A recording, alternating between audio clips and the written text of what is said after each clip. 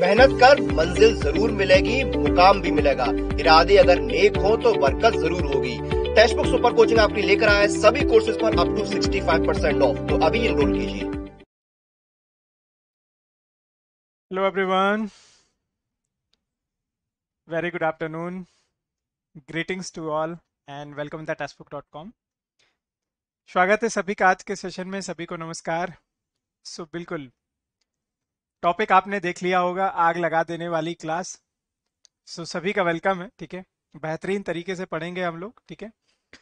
और आपके लिए बहुत ही सिलेक्टेड क्वेश्चन लेकर के आया हूँ स्टैटिक जीके के।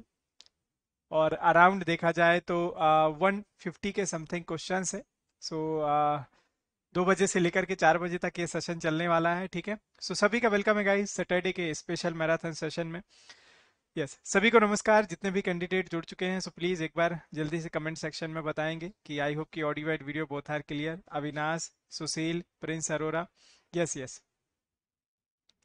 definitely JE वालों के लिए भी बेनिफिशियल है। बाकी जो अदर एग्ज़ाम्स देने वाले हैं उन सभी के लिए भी बेनिफिशियल है ठीक है? तो डेफिनेटली आपके लिए भी हेल्पफुल रहेगी। सो so, चलिए गाइस शुरुआत करते हैं हम लोग। आग लगा देने वाली इस क्लास को है ना? और कमेंट सेक्शन में बिल्कुल आप भी कमेंट कर सकते हैं कि वो कौन सा डायलॉग है ना वो आग लगा डाला आग लगा डाला। सो so, चलिए गाइज़ बाकी सभी को मालूम है कि मंडे टू फ्राइडे मेरी मास्टर क्लास होती है थ्री पीएम पर। टेक्स्ट बुक एप्लीकेशन में तो आप इसको भी ज्वाइन कर सकते हैं रेगुलर बेसिस पे ठीक है? और फ्री ऑफ़ कॉस्ट है बस आपको टेक्स्ट बुक एप्लीकेशन में इसको ज्वाइन करना है। बाकी मेरे हर एक सेशंस की जो पीडीएफ है वो आपको टेलीग्राम ग्रुप में मिल जाएगी। So please for the PDF join the Telegram group that is at the rate सोसा text book और बस आगे बढ़ने से पहले एक चीज़ मैं ज़रूर बता दूँ। कि यहाँ पर याद रखिएगा आपके लिए टेक्स्ट बुक डबल धमाल सेल लेकर के आया डबल धमाल सेल मतलब कि आपके पास कल और आज, यानी कि जो सिक्सटीन है और आपका जो सेवनटीन है, इन दो दिनों तक चलने वाली थी डबल धमाल सेल। सो होप कि आप मैंने से बहुत सारे लोगों ने ऑलरेडी एनरोल कर लिया होगा। जिन्होंने अभी भी इस डबल धमाल सेल में एनरोल नहीं किया है तो उनके लिए आज आखिरी मौका है। जाइए, जो डीआरडीओ का 8000 का कोर्स था, वो मात्र 3400 में अवेलेबल है। यूज़ कीजिए coupon code S H I V K T to get the maximum discount ठीक है? सो चलिए, शुरुआत करते हैं हम लोग इस सेशन के। आई होप कि everyone is ready comment section में एक बार जल्दी से बताइए। और आज के सेशन का सबसे पहला क्वेश्चन देखा जाए कि सबसे पहला क्वेश्चन कौन सा है, ठीक है? यस गाइस क्वेश्चन में पूछा जा रहा है कि which of the following state launch the Rythu Bandhu scheme to provide cash support to farmers ठीक है? तो पूछा जा रहा है कि निम्नलिखित में से किस राज्य ने किसानों को नगद सहायता प्रदान करने के लिए रायथू बंधु योजना शुरू की है। तेलंगाना है, आंध्र प्रदेश है, उड़ीसा है या फिर केरल है। आईटीआई के लिए बिल्कुल इंपॉर्टेंट है। जी हाँ उसके लिए भी आप ये कर सकते हैं, ठीक है? अच्छा सोई किस्मत जगा देंगे, आग लगा देंगे, आग लगा देंगे, है ना? हाँ लगता है टेक्स्ट बुक ने वहीं से ये अपना थंबनेल ले लिया।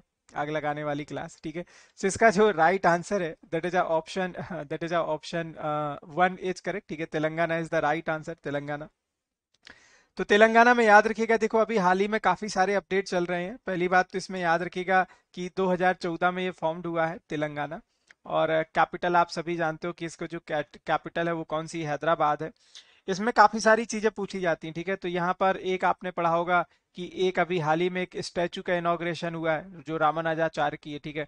दूसरा आपका चार मीनार भी यहाँ पर स्थित है, जो काफ़ी न्यूज़ में रहता है, ठीक है। और एक और याद याद रखिएगा, रुद्रेश्वरा टेंपल या रमप्पा टेंपल ठीक है। तो ये जो रमप्पा टेंपल है, ये भी कई बार एग्ज़ाम में आपका पूछा जाता है, ठीक है। और सीएम तो आप सभी जानते हैं, चंद्रशेखर राव के चंद्रशेखर राव, ठीक है। चलिए, अगला क्वेश्चन है।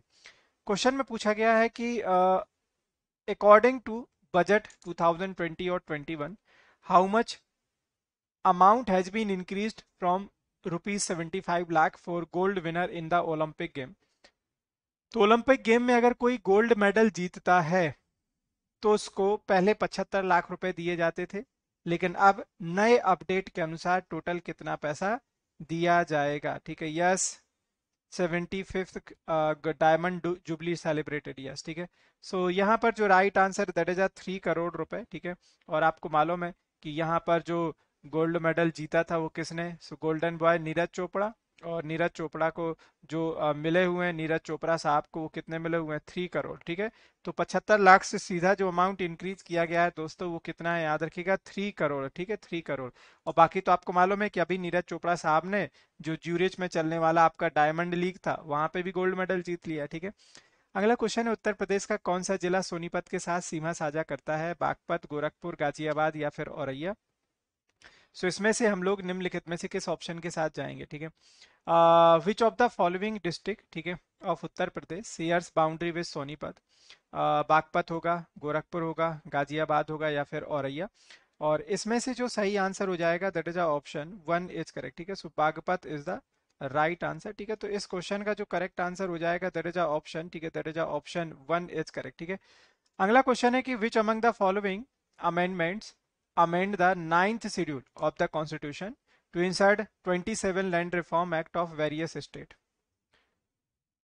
तो इनमें से किस संशोधन में विभिन्न राज्यों के 27 भूमि सुधार अधिनियम को सम्मिलित करने के लिए संविधान में नौवीं अनुसूची का इस्तेमाल किया गया था? नौवीं अनुसूची आपको बतानी है। नौवीं अनुसूची। वैसे तो नौवीं अनुसूची की अगर हम लोग बात करने जाएँ, ठीक है तो आपको ये मालूम होगा कि ये अपने आप में खुद हमारे संविधान का पहला संशोधन थी। हमारे संविधान का खुद अपने आप में पहला संशोधन थी जो 1951 में हुआ, जिसके तहत लैंड रिफॉर्म इंट्रोड्यूस किया गया। लेकिन वैसे अगर यहाँ पर हम लोग देखने जाएँ तो ये कौन सा है? That is a second is the right answer that is a seventy eighth amendment ठीक है? सेवेंटी एट्थ अमेंडमेंट ठीक है? चलिए अगला क्वेश्चन सभी को गुड आफ्टरनून गाइस सभी का वेलकम जितने भी लोग जुड़ते चले जा रहे हैं। नेक्स्ट क्वेश्चन देखिएगा। पूछा जा रहा है कि which of the famous fair is celebrated in the memory of Fakir Shah Mastana तो फकीर शाह मस्ताना की याद में निम्नलिखित में से कौन सा मेला मनाया जाता है? मेला बाबा भूमान साय है मेला बाबा बूटा सिंह है आ, मेला सच्चा सौदा है मेला रामदेव है। ठीक है सो इसका करेक्ट आंसर क्या होगा? आप किस ऑप्शन के साथ जाएँगे? दोस्तों जितने भी लोग जुड़ते चले जा रहे हैं ना एकदम सेशन को लाइक और शेयर ज़रूर करते चले जाए है ना? अटेंडेंस अपनी ज़रूर मार्क करती रहते हैं ठीक है? सो इसका जो राइट आंसर है that is option three is correct Mela Sachcha Sauda is the right answer ठीक है? अगला क्वेश्चन है। Who among the following has given the concept of the human development तो आपने पढ़ा होगा, एक एच रिपोर्ट आती है, ठीक है? एच डी आर रिपोर्ट या फिर आपने एच डी आई इंडेक्स के बारे में पढ़ा होगा ह्यूमन डेवलपमेंट इंडेक्स तो अभी हाल ही में तो ये पब्लिश हुआ है 2022 में, और आपने देखा होगा कि इसमें इंडिया की जो रैंक है, वो कौन सी है? सो इंडिया 132 पोजीशन पर है, ठीक है? एक सौ पायदान पर है इंडिया तो इंडिया की कुछ ज़्यादा अच्छी हालत नहीं है इसमें ठीक है? तो ये जो सबसे पहले पब्लिश किया गया था ये किसके द्वारा आप सभी जानते हैं? दैट इज़ अ महबूब उल हक के द्वारा ठीक है? So that is a option second is the right answer और इन्होंने जो पब्लिश किया था वो भी कब? 19 uh, कुछ 90 uh, या 91 के आसपास ठीक है? अगला क्वेश्चन है कि to which country does the celebrated author and leadership speaker Robin Sharma belongs? तो ये जो रॉबिन शर्मा है प्रसिद्ध लेखक है और वक्ता हैं, ठीक है? ये निम्नलिखित में से किस देश से बिलोंग करते हैं ये पूछा गया है, ठीक है? सो जरा बताइएगा कि इसका राइट आंसर क्या होगा? कनाडा होगा इंडिया होगा ब्रिटेन होगा या यूएसए होगा? सो निम्नलिखित में से कौन सा ऑप्शन हो जाएगा? रॉबिन शर्मा कहाँ से बिलोंग करते हैं दोस्तों? और ये बिलोंग करते हैं आपके कनाडा से, ठीक है? So option one is right ठीक है? ऑप्शन वन इज़ राइट अगला क्वेश्चन है कि भारत में न्यूनतम समर्थन मूल्य। अब देखो, आपने जब एग्रीकल्चर लॉ के बारे में पढ़े होंगे कि कृषि के तीन काले कानून तो आई होप कि आपने देख पढ़ा होगा कि एग्रीकल्चर का एक बहुत बड़ा प्रोटेस्ट चला हमारे देश में। एग्रीकल्चर को लेकर के एक बहुत बड़ा प्रोटेस्ट हुआ। और उसमें यह पूछा गया है कि एमएसपी निर्धारित करने में निम्नलिखित में से कौन सा कारक नहीं माना जाता है?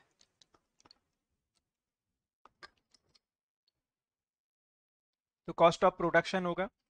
Price trend in international and domestic market cost of living index या इंटर क्रॉप प्राइस पैरिटी ठीक है? तो इस क्वेश्चन का जो करेक्ट आंसर है, ठीक है? सो इसका जो राइट आंसर है that is option three is the right answer ठीक है? That is option three is the right answer cost of living index is the correct answer ठीक है?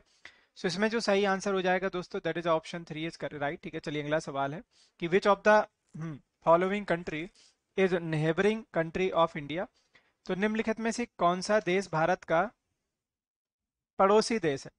म्यांमार है, जापान है, अमेरिका है या यूके, इसमें से आप किस ऑप्शन के लिए जाएँगे? Yes, Kartik very good afternoon Jai Hind, सभी का वेलकम भारत का पड़ोसी देश कौन सा है? जापान है, अमेरिका है, यूके है। तो भारत के हमने देखे हैं कि इंडिया जो करता है share India share land boundary तो हम लोग जो सरहद सीमा है, वो कितने के साथ शेयर करते हैं? सेवन नेशंस तो सात देशों के साथ हमारी सरहद सीमा है और वाटर बाउंड्री के थ्रू हम लोग एक के साथ ही कनेक्टेड है। ठीक है? जो वाटर बाउंड्री हमारी वो हम लोग किसी एक के साथ ही कनेक्टेड हैं और वो कौन सा है? श्रीलंका। तो सात जो देश है उसमें एक अफ़गानिस्तान, एक पाकिस्तान, उसके बाद चाइना, फिर है आपका नेपाल, फिर है आपका भूटान और बांग्लादेश और म्यांमार, जिनके साथ लैंड बाउंड्री है हमारी, ठीक है? तो इसमें राइट आंसर कौन सा हो जाएगा? म्यांमार। और सबसे बड़ी सीमा रेखा है किसके साथ? हमारी बांग्लादेश के साथ। चार हज़ार छियानवे किलोमीटर की सबसे छोटी है हमारी अफ़गानिस्तान के साथ, ठीक है? अगला क्वेश्चन देखिएगा जरा नेक्स्ट क्वेश्चन क्वेश्चन में पूछा गया कि which of the following Indian chilli is considered one of the hottest chilli in the world तो जरा बताइएगा भाई साहब कि भारत की किस मिर्च को दुनिया में सबसे तीखा माना जाता है? भगवान जाने ये कौन सी मिर्च होगी जिसको सबसे तीखा माना जाएगा? महाबोरा लाल ठीक है ये पूछा गया है, और लाल सामक या फिर भूत जोलोकिया। So, इसका जो करेक्ट आंसर है that is option one is the right answer that is Bhut Jolokia is the correct option ठीक है, चलिए अगला सवाल है। The Ottu barrage in Haryana is situated on which river तो हरियाणा में जो ओटू बैराज है, वो किस नदी पर स्थित है? साहिबी पर टांगरी पर घग्घर पर या फिर यमुना पर? तो इसका जो करेक्ट आंसर है that is a which option is right ठीक है? और इस क्वेश्चन का जो करेक्ट आंसर है that is a option Ghaggar Hakra is right अच्छा मतलब ये मिर्च खाने पर इंसान को भूत बना देती है, ठीक है? ये सही concept so option three is right ठीक है? Ghaggar Hakra is the right answer ठीक है? चलिए, अगला क्वेश्चन है। क्वेश्चन पूछा जा रहा है, निम्नलिखित में से कौन सा राज्य हरियाणा के साथ अपनी सीमा साझा करता है? तो हरियाणा, भाई, देखो, मन की आँखों से देख लो, ये है आपका स्थित दिल्ली के पास, ठीक है? दिल्ली के पास ये आपका हरियाणा यहाँ पर स्थित है, ठीक है? अच्छा। अब हिमाचल प्रदेश यहाँ पड़ता है, ठीक है? ओके। अरुणाचल प्रदेश तो यहाँ पड़ जाता है, ठीक है? और सिक्किम इधर पड़ जाता है, ठीक है? मिजोरम भी इधर पड़ जाता है। तो देखो, मिजोरम तो आप टिक नहीं करोगे, क्लियर सी बात है। अरुणाचल प्रदेश टिक नहीं करोगे, ये भी क्लियर सी बात है। या फिर सिक्किम इसको टिक नहीं करोगे, ठीक है? तो इसमें जो राइट आंसर है that is option second is the right answer ठीक है? बाकी तो और लोग तो नहीं है मतलब कोई ऐसा तो नहीं है महान व्यक्ति जो मिजोरम के साथ सीमा रेखा टच करा रहा है। नहीं है ना कोई? चलिए अच्छा है। अगला क्वेश्चन है, प्रधानमंत्री वय वंदन योजना। तो आज हमारे देश के प्रधानमंत्री जी का हैप्पी वाला बर्थडे है है ना? और श्रम सेवा दिवस के तौर पर सेलिब्रेट किया जाता है। और आज तो नामीबिया से उनके बर्थडे गिफ्ट के तौर पर आठ टाइगर्स भी आ रहे हैं, जो कोनो नेशनल पार्क में छोड़े जा रहे हैं। कोनो नेशनल पार्क को ज़रूर पढ़ के जाइएगा एमपी में लोकेटेड है है ना? वहाँ पे कुछ महिला बचत गट के लोगों से भी वो बातचीत करेंगे। तो इसमें बातचीत कर रहे हैं प्रधानमंत्री वय वंदन योजना। वय वंदन मतलब वय का मतलब है जो बुज़ुर्ग लोग बुज़ुर्ग लोग मतलब इनके लिए क्या किया जाएगा? तो जब इंसान की उम्र साठ साल की हो जाएगी, इंसान की उम्र साठ साल की हो जाएगी तो उसको यहाँ पर याद रखिएगा पेंशन बेनिफिट दिए जाएँगे। तो इसका राइट आंसर क्या है? ऑप्शन सेकंड इज़ राइट, ठीक है? सिक्सटी प्लस वय वंदन सीनियर सिटीजन, ठीक है? अगला क्वेश्चन है, that is a which dynasty was founded by Ahmad Bahri in 1490 AD and later conquered by कौन सा? शाहजहां। सो so, निज़ाम शाही है कुतुब शाही है इमाद शाही है या बरीद शाही ठीक है? आपका एमपी नहीं हम सबका एमपी है ठीक है? एमपी पूरे देश का है हम सबका है। तो अहमद बाहरी ने किस वंश की स्थापना की और इसके बाद शाहजहां ने विजय प्राप्त कर ली? तो देखो शाहजहां ने जो जीता था वो कौन सा? अहमदनगर वाला एरिया। क्योंकि गोलकोंडा वाला जो बीजापुर वाला क्षेत्र होता है वो कौन जीतता है? औरंगज़ेब ठीक है? तो ये जो निज़ाम शाही थी ये याद रखिएगा ये कहाँ पर थी आपकी? अहमदनगर तो ये जो आ, मतलब अहमदनगर तो ये जो शाहजहां होता है ये अहमदनगर को विन करता है। ठीक है? और जो औरंगज़ेब था, उसने गोलकोंडा और किस पर? बीजापुर बीजापुर पर विजय प्राप्त की, ठीक है? अगला सवाल है कि which article of Indian constitution notes that no citizen of India shall be discriminated against on the basis of religion caste sex and gender तो आई होप कि ये बहुत साधारण सा सवाल है कि भाई हमारे देश का कौन सा अनुच्छेद है जो कहता है कि जाति के आधार पर, धर्म के आधार पर, जन्मस्थान के आधार पर रेशस के आधार पर किसी भी व्यक्ति में कोई भी भेदभाव नहीं किया जाएगा।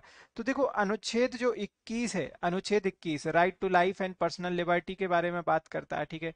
अनुच्छेद जो 23 है ह्यूमन एक्सप्लॉइटेशन के बारे में बात करता है, अनुच्छेद जो 18 है, ये एक्सपेक्टेशन ऑफ़ टाइटल्स की बात करता है। अनुच्छेद 15 में ये बोला गया है कि जाति के आधार पर, धर्म के आधार पर जन्म स्थान के आधार पर किसी भी तरह का भेदभाव या बंटवारा नहीं किया जाएगा। So discrimination is completely prohibited in India on the basis of religion races caste sex and gender and place of birth next question है Madhya Pradesh has the highest number of reserve of which of the following animal तो मध्य प्रदेश में निम्नलिखित में से कौन से जानवर के सबसे अधिक आरक्षित क्षेत्र हैं? टाइगर है पहला, दूसरा लायन है, तीसरा पिकॉक है और चौथा लंगूर है। तो जरा बताएगा कि इसमें आप किस ऑप्शन के साथ जाएँगे। वन होगा, टू होगा, थ्री होगा या फिर four which option is right ठीक है विच ऑप्शन इज़ राइट तो सबसे अधिक आरक्षित क्षेत्र किसके हैं? बाघ के हैं, ठीक है? So option one is the right answer और अब तो आपको मालूम है कि एट जो नामीबिया नामीबिया के टाइगर्स हैं, ये भी आज हम लोग छोड़ रहे हैं यहाँ पर। और कहाँ पर छोड़ रहे हैं? कोनो टाइगर रिज़र्व में। तो भाई साहब, कोनो टाइगर रिज़र्व को ज़रूर पढ़ के चले जाएगा और हमारे देश में ये तो आपको मालूम है कि जो टाइगर प्रोजेक्ट है, प्रोजेक्ट टाइगर है, ये कब आया हुआ था? तो प्रोजेक्ट जो हमारे देश में टाइगर आया हुआ था, ये 1973 में। और इस समय वर्ल्ड में सबसे ज़्यादा टाइगर्स की संख्या भारत में ही है। विश्व में सबसे ज़्यादा टाइगर जो है वो भारत में ही है। और भारत में सबसे ज़्यादा कहाँ है? मध्य प्रदेश में, क्योंकि मध्य प्रदेश में सबसे बड़ा फॉरेस्ट एरिया है। मध्य प्रदेश में जो सबसे बड़ा है वो क्या है? फॉरेस्ट एरिया है, ठीक है? ये आई होप की सभी को क्लियर है। और टोटल टाइगर रिज़र्व पूछे गए कि भाई टोटल कभी टाइगर रिज़र्व कितने हैं? तो टोटल टाइगर रिज़र्व दोस्तों याद रखेगा कि हमारे देश में कुल टाइगर रिज़र्व की संख्या टोटल 54 है, ठीक है? अगला क्वेश्चन है कि where did the English East India company start the policy of dual administration तो दोहरे शासन की प्रणाली, आपने पढ़ा होगा ना ड्यूल एक डायचरी लॉ है और एक ड्यूल एडमिनिस्ट्रेशन है, ठीक है? तो इसका जो राइट आंसर होगा सभी को मालूम है कि जो सबसे पहले शुरू किया गया था वो कहाँ पर? वेस्ट बंगाल तो आपने पढ़ा था कि जैसे ही प्लासी का युद्ध हुआ और जैसे ही बक्सर का युद्ध हो गया तो बक्सर और प्लासी के युद्ध के बाद बंगाल में ड्यूल जो आपका मतलब ये गवर्नमेंट है, ये लागू हो जाता है, दोहरे शासन की प्रणाली। और दोहरे शासन की प्रणाली के लिए यहाँ पर जो रिस्पॉन्सिबल माना जाता है, वो किसको? लॉर्ड क्लाइव ठीक है? तो Lord Clive was the main person who impose dual government in the Bengal ठीक है? अगला क्वेश्चन देखिएगा जरा। नेक्स्ट क्वेश्चन देखते हैं कि the Saksham project approve by the government of India is related to तो जो सक्षम प्रोजेक्ट है, ये निम्नलिखित में से किससे जुड़ा हुआ है? बहुत सारे देखो प्रोजेक्ट है, एक आपने पढ़ा होगा, रुद्राक्ष रुद्राक्ष प्रोजेक्ट जो वाराणसी में जापान की मदद से बनाया गया। यहाँ पर एक है सक्षम। तो ये स्किल डेवलपमेंट है एस सी के लिए। मिलिट्री एक्शन है, for effective disaster management related to the new indirect tax network या creating self confidence in disabled person and youth ठीक है? सो इसमें जो राइट आंसर है that is option four is correct creating self confidence in disabled person and youth ठीक है? अगला सवाल which among the following is the advisor of the national security committee तो निम्नलिखित में से राष्ट्रीय सुरक्षा समिति का सलाहकार कौन होता है? गृह मंत्री प्रधानमंत्री, राष्ट्रपति या national security advisor NSA so इसमें से आप किस ऑप्शन के साथ जाएँगे? वन टू थ्री या फिर फोर निम्नलिखित में से करेक्ट आंसर क्या हो जाएगा? और इसमें से जो करेक्ट आंसर हो जाएगा दोस्तों, वो कौन सा है? That is option second is correct ठीक है? Prime minister is the right answer ठीक है? So prime minister is the right answer ठीक है? चलिए अगला क्वेश्चन है। क्वेश्चन में पूछा जा रहा है कि जो अटल पेंशन योजना है focus on which of the following तो अटल पेंशन योजना निम्नलिखित में से किन चीज़ों पर ध्यान केंद्रित करती है? अनऑर्गेनाइज सेक्टर वर्कर असंगठित क्षेत्र के मजदूरों पर टीचर्स पर, सरकारी कर्मचारियों पर या फिर डॉक्टर्स एंड इंजीनियर्स पर, ठीक है? तो अटल पेंशन योजना आपने पढ़ी होगी कि अटल पेंशन योजना में 18 से लेकर के 40 साल का कोई भी पर्सन एनी पर्सन ठीक है? एनी पर्सन मतलब कोई भी व्यक्ति यहाँ पर अपना अकाउंट खोल सकता है। अब उसको एक रुपए से लेकर के कितने? 250 रुपए तक मैक्सिमम याद रखेगा पर मंथ कंट्रीब्यूशन करना है, ठीक है? पर मंथ क्या करना है कंट्रीब्यूशन करना है। और जब उसकी उम्र हो जाएगी एट द एज ऑफ़ ठीक है, जब उसकी उम्र कितनी हो जाएगी? सिक्सटी ईयर्स की, याद रखिएगा। जब उसकी एज हो जाएगी कितनी? सिक्सटी ईयर्स की तो वो साठ साल की उम्र होने के बाद जो पेंशन का बेनिफिट पा पाएगा वो कितना? तो मिनिमम जो पेंशन है वो कितनी हो जाएगी? एक हज़ार रुपए। और मैक्सिमम जो पेंशन होगी वो कितनी हो जाएगी? पाँच हज़ार रुपए पर मंथ पर मंथ है ये, पाँच हज़ार रुपए पर मंथ ठीक है? तो ये याद रखेगा कि यहाँ पर कोई भी सेक्टर अनऑर्गेनाइज सेक्टर अपनी पेंशन को खोल सकता है ठीक है? तो इसका जो करेक्ट आंसर है is option one is right ठीक है? चलिए अगला क्वेश्चन है। क्वेश्चन में पूछा गया है कि who among the following is considered as the father of the heredity तो अनुवांशिकता के जनक निम्नलिखित में से कौन है? और uh, इसमें खुराना साहब है चार्ल्स डार्विन है लेमार्क है या फिर ग्रेगर मेंडले? और इसमें से जो करेक्ट आंसर है दोस्तों, बहुत सारे लोगों ने जो सही आंसर टिक किया that is a Gregor Mendel is the right answer ठीक है? ऑप्शन फोर इज़ करेक्ट अगला सवाल है जो काउंसिल ऑफ़ मिनिस्टर्स है is associated collectively responsible for ठीक है? तो जो मंत्री परिषद सामूहिक रूप से किसके प्रति जिम्मेदार होती है? प्रेसिडेंट प्राइम मिनिस्टर लोकसभा या निम्नलिखित में से कोई भी नहीं, ठीक है? नन ऑफ़ द अब तो जरा बताएगा कि इसका करेक्ट आंसर क्या होगा? और आप निम्नलिखित में से किस ऑप्शन के साथ जाएँगे? सो so, इसका जो सही आंसर है that is option three is right ठीक है? The Lok Sabha is the correct option ठीक है? अगला क्वेश्चन है कि इन विच स्टेट आर कौन सा हाँ पूछा गया है कि जवादू हिल्स इज़ लोकेटेड तो निम्नलिखित में से किस राज्य में ये जो जवादू हिल्स हैं ये लोकेटेड है? केरल होगा कर्नाटक होगा तमिलनाडु या तेलंगाना? तो निम्नलिखित में से किस राज्य में स्थित है? और जवादू हिल्स की बात करने जाए तो these are located in Tamil Nadu ठीक है? तो तमिलनाडु में हम लोग इन हिल्स की बारे में बात करते हैं। बाकी आपको मालूम है कि तमिलनाडु में आपको बृहदेश्वर टेंपल भी पूछा जाता है तो टेंपल टेंपल के बारे में भी पढ़ के जाना है।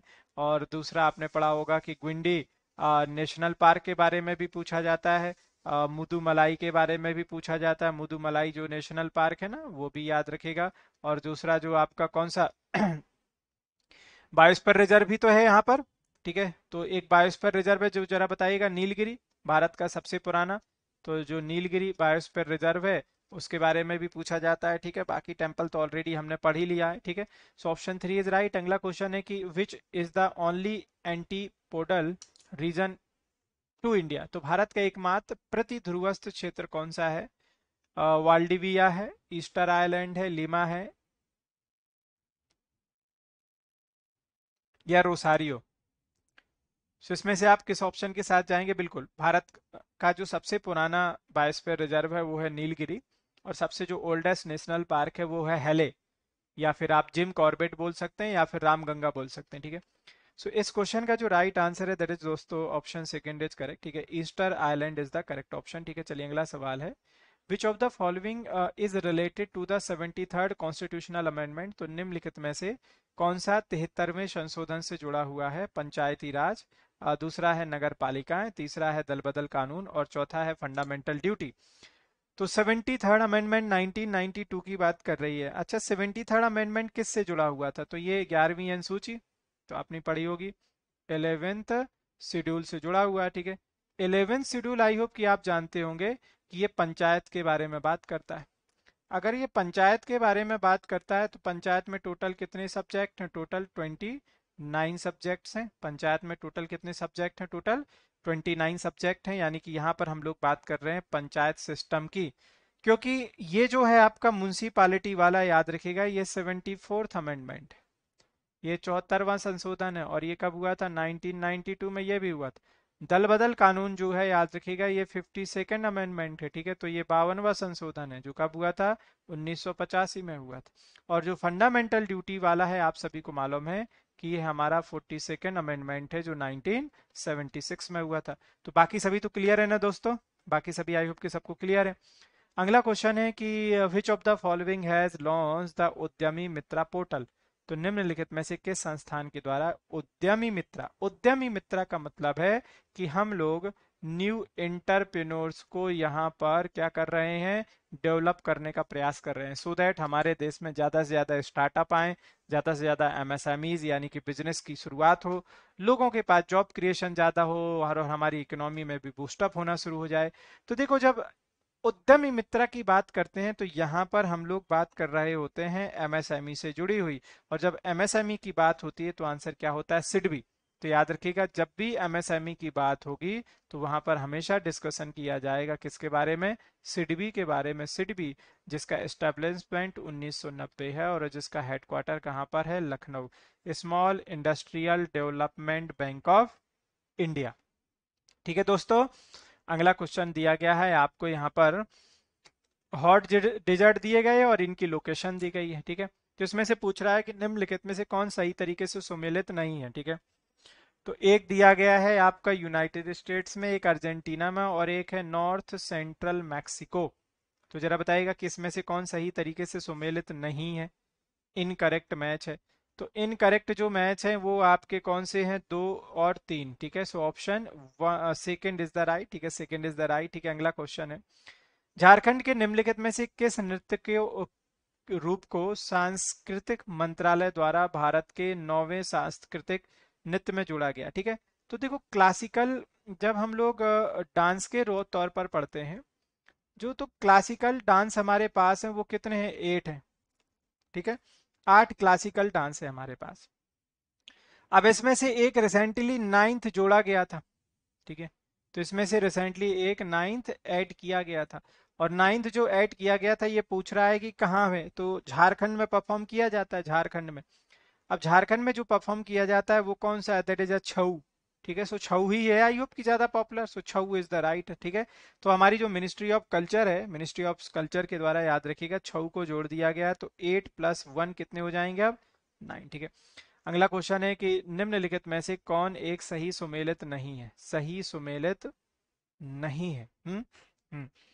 सुमित्रा मेला Gopal Krishna Gokhale, Ghadar party, Lala Hardayal Swaraj party C R Das और एम एल नेहरू और Anushilan Samiti that is a Virendra Kumar Ghosh clear सी बात है कि मित्रा मेला जो है, ये किससे जुड़ा हुआ नहीं है? गोपाल कृष्ण गोखले से जुड़ा हुआ नहीं है, ठीक है? So option one is wrong ठीक है? ऑप्शन वन इज़ रॉन्ग ठीक है? क्षितिज चलिए नमस्कार, स्वागत सभी का। जो भी लोग जुड़ रहे हैं, दबा के लाइक और शेयर ठोंक दीजिए आज, ठीक है? आज बिल्कुल एक हज़ार बच्चों को जोड़ देना है, वरना मुझे भी बोलना पड़ेगा कि मैं पानी नहीं पीऊँगा। ठीक है, वैसे लेकिन पानी पीना ज़रूरी है भाई। चलिए नेक्स्ट क्वेश्चन पे हम लोग चलते हैं, लेकिन यहाँ पर अपडेट कि आज आखिरी मौका है आपके पास। डीआरडीओ और इस टेक्नीशियन और एसटीए के कोर्स के लिए एनरोल करने के लिए। और अगर आप चाहते हैं कि अपनी सेविंग्स को बचा लें और सबसे लोएस्ट प्राइस में एनरोल करें सो आज ही एनरोल करिए डीआरडीओ कोर्स के लिए। और यूज़ कीजिए coupon code S H I V K T to get the maximum discount और याद रखिएगा सत्तर परसेंट तक का डिस्काउंट अवेलेबल है, ठीक है? अगला क्वेश्चन है दोस्तों की इंसेक्टिवोरस प्लांट ठीक है? Grow in the soil that lacks ठीक है? यस आसुपाल नमस्कार। नाइट्रोजन है मैग्नीशियम है कैल्शियम है या पोटेशियम तो इसका राइट आंसर क्या होगा? निम्नलिखित में से किसको टिक करेंगे? तो इसमें कौन सा हम लोग टिक करने जाएँगे और इसका जो राइट आंसर है that is a nitrogen is the right answer ठीक है? सो कीट भक्षी पौधे मृदा में उगते हैं, उसमें अल्पता होती है किसकी? नाइट्रोजन की। अगला क्वेश्चन है कि where is under the sun aquarium is located aquarium is located ठीक है? तो अंडर द सन नाम से जो एक्वेरियम है, वो भारत में कहाँ पर लोकेटेड है? जयपुर में फतेह सागर में, पिचौला लेक में या अजमेर में? तो ये आपका जरा बताएगा किस जगह पर लोकेटेड है? ठीक है एक्वेरियम की बात करें हम लोग, Fateh Sagar is the right answer ठीक है ऑप्शन सेकेंड इज़ करेक्ट ठीक option second is right next question है दोस्तों कि एसबीजी योजना is related to which of the following sector तो ये जो एसबीजी प्रोग्राम है या योजना है, ये निम्नलिखित में से किस सेक्टर से जुड़ी हुई है, ठीक है? सो लाइफ इंश्योरेंस है बैंकिंग है एग्रीकल्चर है या फिर एजुकेशन है सो so इसमें से आप किस ऑप्शन के साथ जाएँगे? वन होगा, टू होगा, थ्री होगा या फिर four which option is right so इस क्वेश्चन का जो राइट right आंसर है that is option one is correct ठीक है? Life insurance is the correct option ठीक है? Life insurance is the correct answer ठीक है? अगला सवाल है कि who is the largest producer of wheat in the world तो आपको बताना है कि गेहूँ का सबसे बड़ा उत्पादक निम्नलिखित में से कौन है? चीन है बांग्लादेश है, इंडिया है या फिर रसिया? तो इसका करेक्ट आंसर जरा बताइएगा। प्रोड्यूसर ऑफ़ वीट की बात कर रहे हैं, ठीक है? तो प्रोड्यूसर ऑफ़ व्हीट की अगर हम लोग बात करने जाएँगे तो वर्तमान में जो है, अब हो गया है आपका चाइना, ठीक है? वर्तमान में हो गया कौन सा चाइना? इंडिया में अगर हम लोग बात करने जाएँ तो इंडिया में दो स्टेट बहुत आगे है, एक यूपी और याद रखेगा पंजाब। तो यूपी और पंजाब इंडिया में बहुत आगे है, ठीक है? यूपी और पंजाब इंडिया में आगे, ठीक है? अगला क्वेश्चन है कि which among the following is the largest producer of jute in the world ठीक है? सो जूट का उत्पादन सबसे ज़्यादा निम्नलिखित में से कहाँ पर होता है? देखो जूट के उत्पादन में आपको मालूम होगा कि सबसे ज़्यादा जो अधिक उत्पादन होता है ये कहाँ पर होता है? हमारे भारत में ठीक है? और भारत में होता है या बांग्लादेश में होता है? मे बी यार ये तो थोड़ा सा कंफ्यूजिंग है क्योंकि थोड़ा सा कंफ्यूजिंग है। देखना पड़ेगा ये ठीक है कि वर्तमान में स्थिति कौन सी है। क्योंकि जहाँ तक मैंने जो अ, मतलब अब ये ओल्ड अपडेट है या फिर न्यू अपडेट है ठीक है? हाँ तो इसका जो राइट आंसर है जहाँ तक क्योंकि इसका जो ऑप्शन जा रहा है वो सी जा रहा है ठीक है? बांग्लादेश है मे बी जूट में जो सबसे ज़्यादा उत्पादित है।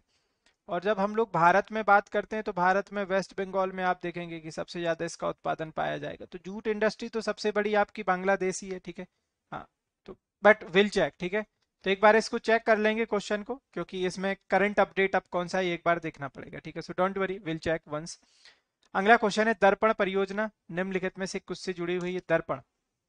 तो दर्पण की हम लोग बात कर रहे हैं डिजिटल और ऑफ़ पोस्टल ऑपरेशन तो हमारा जो डाक विभाग है, उसका डिजिटलाइजेशन किया जाएगा इसके तहत। Digital digitisation of classrooms digitisation of government office digitisation of public sector banks और इसका जो करेक्ट आंसर है दैट इज़ ऑप्शन ठीक है? One is the correct option ठीक है? डिजिटाइजेशन ऑफ़ पोस्टल ऑपरेशंस ठीक है? So option one is correct ठीक अगला क्वेश्चन है which of the following volcanic peak of Jammu and Kashmir is erupted during 1934 and now in dormant state and situated in the, क्या लिखा गया है?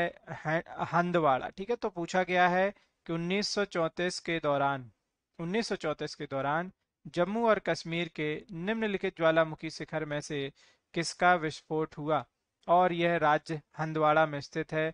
तो सोयाम जी है अफरावत है किश्तवाड़ है या फिर लिपोंग है, ठीक है? सो इसका जो करेक्ट आंसर है दोस्तों that is option one is correct option one is the right answer ठीक है? अगला क्वेश्चन जहांगीर ने किसकी याद में झरोखा उद्यान बनवाया था, ठीक है? Jahangir built Jharokha garden in the remembrance of Jahangir बात कर रहे हैं हम लोग यहाँ पर सलीम की तो अकबर शाहजहां, दारा सिकोह या फिर नूर जहाँ ठीक है? नूर जहाँ तो इसमें जो राइट आंसर है that is a Noor Jahan is the correct answer ठीक है? नूर जहाँ और नूर जहाँ क्या नाम क्या था? थर्ड वाइफ ऑफ़ जहांगीर ठीक है? तो याद रखिएगा, ये तीसरी पत्नी थी जहांगीर की। जहांगीर की इससे भी पहले दो पत्नी थी। एक का नाम जगत गुसाई था और एक का नाम मानवती था। वो दोनों राजपूत थी। और ये जो तीसरी पत्नी थी, जिसका नाम था नूर जहाँ ठीक है? नूर जहाँ ठीक है? So option four is right ठीक है? नूर जहाँ ठीक है? अगला क्वेश्चन देखते हैं हम लोग। क्वेश्चन पूछा जा रहा है कि एक्टो वल्केनो इरप्ट ठीक है? तो एवरी डे वंश इन टू ईयर्स फ्रिक्वेंटली या फिर कभी नहीं। तो एक्टो वल्केनो इंडिया में तो एक ही जगह पर पाया जाता है।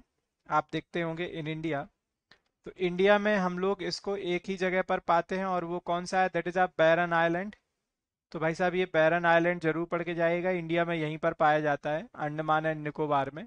और बाकी तो सभी को मालूम है कि सबसे ज़्यादा जो पाए जाते हैं वो पाए जाते हैं कौन सा?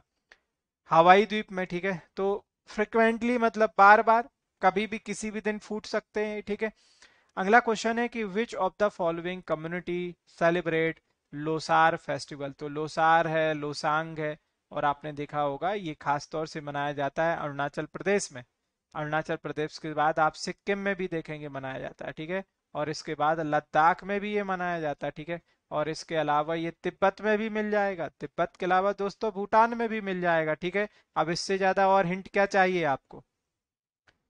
अब तो आंसर सही आना चाहिए, अब तो कोई यहाँ पे तुक्का नहीं मारेगा तो जो करेक्ट आंसर है that is option three is the right answer क्योंकि गारो खासी जो जयंतियाँ हैं, ये पड़ती हैं हमारी कहाँ पर? मेघालय में, ठीक है? और बोडोलैंड तो आई होप कि आपको मालूम है कि हम लोग नागालैंड की ही बात करें नागालैंड, ठीक है, या बोडोलैंड की, ठीक है? अगला क्वेश्चन है कि देखो क्वेश्चन पूछा जा रहा है कि which of the following kings is also known as the Napoleon of India तो निम्नलिखित में से किसको नेपोलियन ऑफ़ इंडिया बोलते अच्छा एक और है।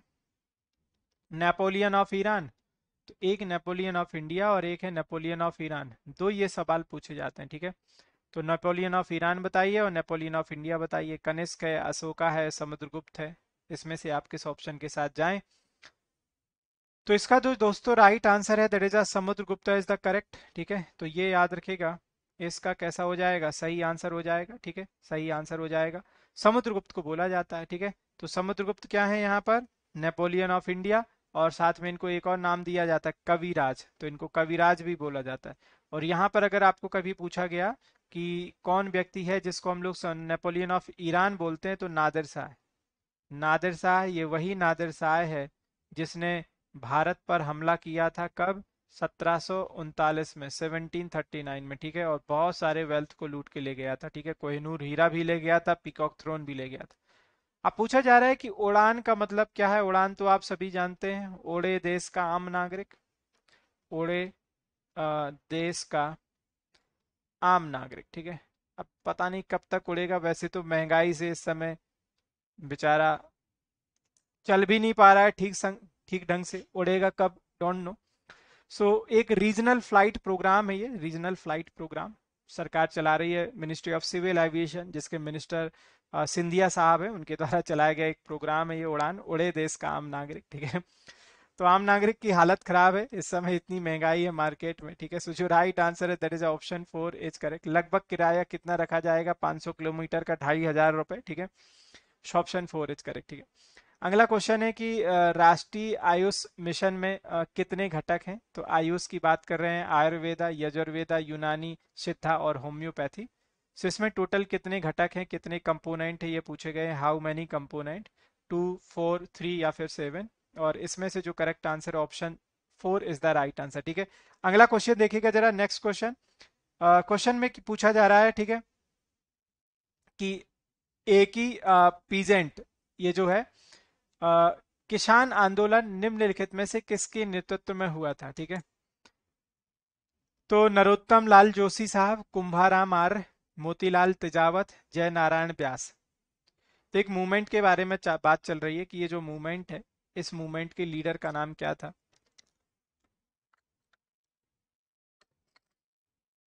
आपने कूका आंदोलन पढ़ा होगा, संथाल आंदोलन के बारे में पढ़ा होगा।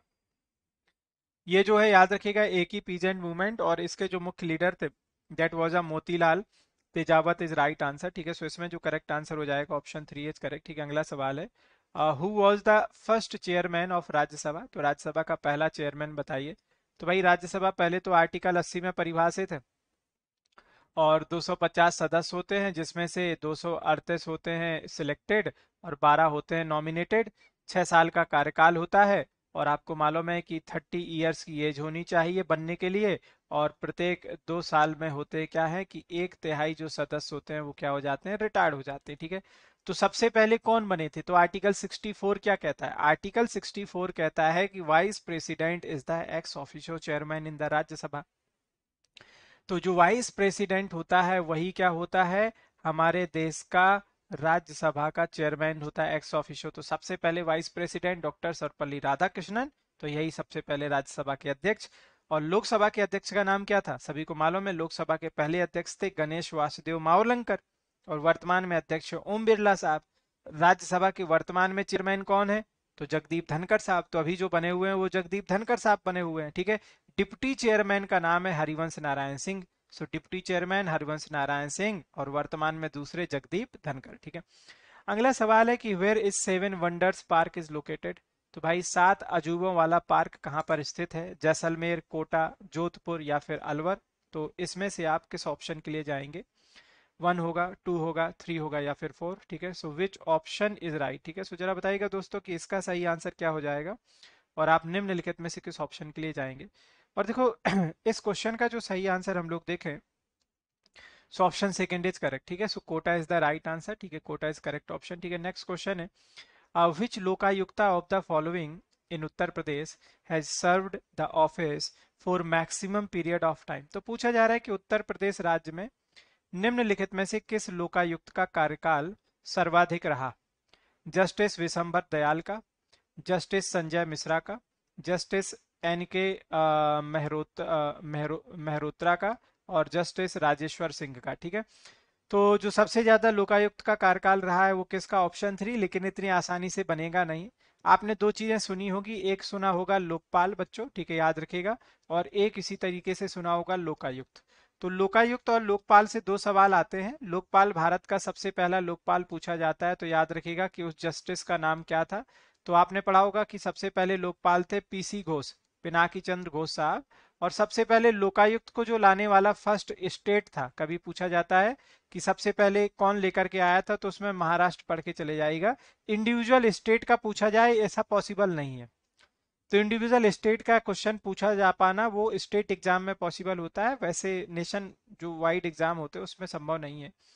अगला क्वेश्चन है what is the percentage of iron in a chemical composition of earth तो पृथ्वी की जब हम लोग संरचना पढ़ते हैं तो उसमें लोहे की मात्रा कितनी होती है? पंद्रह से लेके बाईस, तीस से लेकर के इकतीस, पचास से लेकर के बावन, या बत्तीस से लेकर के पैंतीस। तो लोहे की मात्रा आपको बतानी है, और लोहे की मात्रा है दर्जा around thirty two how much? Thirty five percent, ठीक है? So option D is correct. अगला क्वेश्चन है कि जो अखिल भारतीय तकनीकी शिक्षा परिषद है, आप बोलते हो ना? कि this college is approved by A I C T E ठीक है? तो आपने सुना होगा, बहुत सारे जो इंजीनियरिंग कॉलेज हैं, गाँव में, खेतों में बना दिए गए हैं और बोल देते हैं कि this college this institute approved by the A I C T E और आपको 100 परसेंट प्लेसमेंट दिया जाएगा। बड़ा सा बैनर लगा होगा जब आप जाएँगे रिसेप्शन सेंटर पे फ़र्स्ट ईयर में, भोले वाले बच्चे बन करके। थर्ड ईयर और फोर्थ ईयर से आपको पता चलना शुरू हो जाएगा कि कितने परसेंट प्लेसमेंट दिया जाएगा इस कॉलेज में। सो इसमें जो राइट आंसर है that is option four is the right answer जो भी इंजीनियर्स देख रहे होंगे मैक्सिमम तो इंजीनियर्स ही होंगे तो सबको पता होगी सच्चाई जीवन की कितने percent so option four is right ठीक है 1987 अगला क्वेश्चन है केंद्रीय पर्यावरण मंत्रालय ने ब्लू फ्लैग प्रमाणन के लिए भारत के कितने समुद्री तटों का चयन किया है ठीक है? सो इसमें से आप कितने ऑप्शन को टिक करने जाएँगे? पाँच है हम्म, सात है दस है या फिर बारह इसका सही आंसर क्या होगा? यस रामचंद्र इसका जो राइट आंसर है दैट इज़ ऑप्शन ठीक है याद रखिएगा फोर इज़ राइट ठीक है देर आर टोटल ट्वेल्व ठीक है देर आर टोटल ट्वेल्व ठीक है नेक्स्ट क्वेश्चन है। किस देश में बाबा गुरु नानक अंतरराष्ट्रीय विश्वविद्यालय की आधारशिला रखी गई है? So so, Baba Guru Nanak that was the first guru of the Sikhism Sikhism के सबसे पहले गुरु। जिनका जो जन्म है ननकाना साहिब तलवंडी में हुआ था। पिता का नाम कालू राम माता का देव, नाम तृप्ता देवी था। 1499 में इन्होंने सिख धर्म की स्थापना की। याद रखिएगा सिकंदर और इब्राहिम लोधी के समकालीन थे। और आप ये भी कह सकते हैं कि बाबर के भी समकालीन थे ठीक है? तो इसका जो सर करेक्ट आंसर है that is option three is the right answer ठीक है? तो ये जो यूनिवर्सिटी स्थापित की गई है कहाँ पर? पाकिस्तान में ठीक है? अगला क्वेश्चन है कि इन विच पूछा गया article of the constitution is the provision of important consolidated fund of the government of India is related to the budget तो देखो, आप थ्री टाइप्स ऑफ़ फंड पढ़ते हो दोस्तों। थ्री टाइप्स ऑफ़ हम लोग फंड पढ़ते हैं। एक हम लोग पढ़ते हैं कंटिजेंसी तो आपने ये तो पढ़ा होगा कंटिजेंसी कंटिजेंसी फंड तो कंटिजेंसी फंड इमरजेंसी के लिए इस्तेमाल होता है ये, और राष्ट्रपति के अंदर में होता है 267 फिर उसके बाद पढ़ा होगा कंसोलिडेटेड जिससे सभी लोगों की सैलरी प्रोवाइड की जाती है। और उसके बाद होता है पब्लिक अकाउंट फंड ठीक है जिसमें जो भी गवर्नमेंट और स्कीम्स है, उसमें पैसा अलोकेट होता है पब्लिक अकाउंट फंड है, ठीक है। अब ये जो है, इसका सही आंसर कौन सा है? That is option one is correct तो कंसोलिडेटेड जो जो फंड होता है किसकी बात करें 267 में, और 266 में 267 में आपका कंटिजेंसी फंड होता है, ठीक है?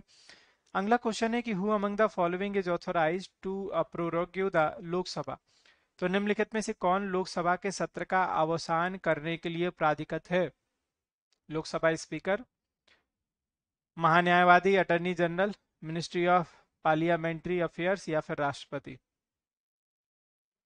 और इसमें जो हम लोग सही आंसर के लिए जाएँगे, सही आंसर क्या है? ऑप्शन फोर इज़ राइट ठीक है? President is the correct answer ठीक है तो याद रखिएगा कि ये इसका सही आंसर हो जाएगा, ठीक है। नेक्स्ट क्वेश्चन है कि which among the following event happened earliest तो निम्नलिखित में से कौन सी घटना सबसे पहले घटित हुई थी? चंपारण सत्याग्रह भाई गांधी जी। और चंपारण तो भाई घटना कब घटित हुई थी? ये हुई थी आपकी चंपारण वाली घटना 1917 में। अच्छा अब उससे पहले तो बी आ चुका था, बहुत पहले आ चुका था। जलिया वाला बाग हत्याकांड हुआ है 1919 में और असहयोग आंदोलन हुआ है 1920 में। तो क्लियर सी बात है कि सबसे पहले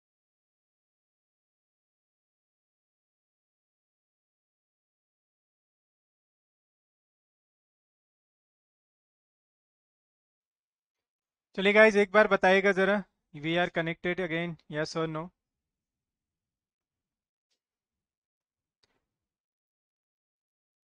थोड़ा सा कनेक्टिविटी गई थी बट आई होप कि अभी क्लियर है कनेक्टेड है हम लोग।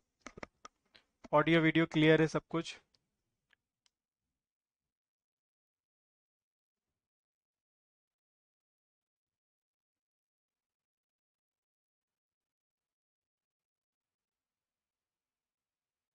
यस आई होप कि नाव एवरीथिंग इज़ फाइन चलिए गाइस तो देखिए, हम लोग क्वेश्चन कर रहे थे कि ये जो निम्नलिखित निम्नलिखित घटनाएँ हैं। इनमें से सबसे पहले घटना कौन सी हुई? सो so, इसका जो राइट आंसर है दैट इज़ वेरी क्लियर बहुत क्रिस्टल और क्लियर सा है कि इनमें से जो सबसे पहले घटना घटी थी वो कौन सी थी? बीएचयू की स्थापना महामना मदन मोहन मालवीय के द्वारा ठीक है? So option second is the right अगला क्वेश्चन है कि निम्नलिखित में से किसे अंग्रेज़ भारतीय सेना के जनक के रूप में जाना जाता है? अंग्रेज़ भारतीय सेना के जनक के रूप में जाना जाता है। तो मेजर स्ट्रेंजर लॉरेंस है, पहला ऑप्शन। दूसरा लॉर्ड रिपन है और लॉर्ड क्लेवेंड है, लॉर्ड वारन हेस्टिंगस। तो ये तो father of self local government भी जाने जाते हैं। Father of self local government के रूप में भी जाने जाते हैं। स्थानीय स्वशासन सुधारों के पिता में so, इसमें से करेक्ट आंसर है आई होप कि that is option one is right Major Stringer Lawrence is the right answer ठीक है so option one is correct कितने लोगों ने इस क्वेश्चन में तुक्का लगाया है? काफ़ी सारे लोगों ने लगाया है पक्का ना? और ये नए तरह का सवाल भी था मुझे पहली बार ये भी मिला ठीक है? So option one is correct ठीक है? चलिए अगला क्वेश्चन है। Which one of the following is not a nitrogen fixing organism निम्नलिखित में से कौन सा एक नाइट्रोजन स्त्रीकरण करने वाला जीव नहीं है? नॉस्टॉक एनाविना एजो एजेटोबैक्टर या माइको रायजा ठीक है? So, इसका जो करेक्ट आंसर है that is option four is right ठीक है? Option four is the right देखो वैसे तुक्का लगाना थोड़ा सा पाप तो कैटेगरी में रख सकते हैं। लेकिन जो लोग समझ जाते हैं कि मैं तुक्का लगा के भी गलत करूँगा ऐसे लोग महान व्यक्ति होते हैं ना ऐसे लोग महानता की श्रेणी में आते हैं। Option four is right that is mycorrhiza is the correct option ठीक है? अब देखो गाइज़ यहाँ पर एक छोटा सा अपडेट है। अभी सेशन खत्म नहीं हुआ है, बहुत सारे क्वेश्चन रिमेनिंग है। तो आपको जैसा कि मैंने बताया कि इस समय टेक्स्ट बुक का बम्पर सेल चल रहा है, ठीक है, डबल धमाका सेल। और आप अपनी एग्ज़ाम की प्रिपरेशन कर सकते हैं इंडिया के बेस्ट सुपर टीचर्स के साथ जुड़ करके। मल्टीपल टीचर्स हैं, जिनके आप लेक्चर्स को पढ़ सकते हैं, ठीक है। साथ में आपको डेली बहुत सारे यूट्यूब सेशन और one to one interaction session मिल जाते हैं। और इसके लिए देखिए, करना बहुत सिंपल सी चीज़ है दोस्तों। मैंने आपको बताया ना कि अभी हैवी डिस्काउंट है। हैवी डिस्काउंट बोले तो एकदम सच्चा वाला हैवी डिस्काउंट है। तो सीधे से करो क्या? देखो, आप स्क्रीन पर देख पा रहे हो कि सेशन गोइंग ऑन है। तो इसमें से क्या करो कि ये सी मोर वाले ऑप्शन में जाओ। सेशन को पहले तो लाइक कर दो शेयर कर दो चैनल को सब्सक्राइब कर दो। ये घंटी ज़रूर दबा लो सो दैट रेगुलर नोटिफिकेशन आते रहेंगे। मेरी हर एक सेशन की ये प्लेलिस्ट मिल जाएगी, यहाँ से मास्टर क्लास मिल जाएगी। यहाँ पर जाओगे सिविल इलेक्ट्रिकल मैकेनिकल के सुपर कोचिंग कोर्सेस है। जब आप जाओगे तो कुछ इस तरह का फीचिंग फीचर ओपन होगा। और इसमें आपको ये अलग अलग दिखेंगे। तो देखो, डबल धमाल सेल है। सत्तर परसेंट तक का दोस्तों डिस्काउंट है, ठीक है ना? और जस्ट हाफ़ से भी हाफ़ रेट में यहाँ पर कोर्सेस अवेलेबल है। इस मौके को बिल्कुल मत जाने दीजिए। बेहतरीन टीचर्स के साथ पढ़िए कॉन्सेप्ट को क्लियर करिए। डाउट सेशन पाइए प्रीवाई क्यू पाइए स्ट्रेटजी सेशन पाइए। सो ये सारे सब कुछ आपको फ्री ऑफ़ कॉस्ट मिलते हैं। फ्री ऑफ़ कॉस्ट क्या? बहुत ही मार्जिन अमाउंट में। तो इसके लिए किसी एक प्लान को सिलेक्ट कीजिए और अप्लाई कूपन कोड में जाइए। कूपन कोड यूज़ कीजिए। That is A S H I V K T ठीक है? और अगर इसको सब्सक्राइब कर डाला तो एकदम प्रिपरेशन को आसान कर डाला ठीक है? चलिएगा सो चलते हैं अब हम लोग अपने क्वेश्चन की ओर और, और देखते हैं आज के सेशन का मैराथन सेशन का नेक्स्ट क्वेश्चन कौन सा है ठीक है? चलते हैं हम लोग सो अगले क्वेश्चन को देखिएगा गाइस और अगला क्वेश्चन है आपका who among the following was the first chief minister of Puducherry assembly तो हमारे देश के पहले महिला चीफ मिनिस्टर पूछा गया, तब तो आप जानते हो सुचिता कृपलानी इसमें पुंडचेरी, जो कि फ्रेंच कॉलोनी था 1954 तक, जहाँ पर एक लोकसभा सीट है, उससे जुड़ा हुआ पूछा गया है कि इसके सबसे पहले मुख्यमंत्री कौन थे। तो इसके जो सबसे पहले मुख्यमंत्री थे, ये कौन से थे, याद रखिएगा दर्जा option second is the right answer ठीक है। So एडोड Goubert is the correct option ठीक है। ऑप्शन सेकेंड इज़ करेक्ट ठीक है? तो इसका जो करेक्ट आंसर हो जाएगा। Second is the correct answer ठीक है? ऑप्शन सेकेंड इज़ करेक्ट ठीक है? अगला क्वेश्चन है। पूछा जा रहा है कि know India programme K I P focused on which of the following segment तो ये जो नो इंडिया प्रोग्राम है, ये निम्नलिखित में से किस खंड पर केंद्रित है? विद्यालय छात्र, भारतीय मूल के व्यक्ति कॉलेज के छात्र कॉरपोरेट ठीक है? इसका करेक्ट आंसर क्या होगा?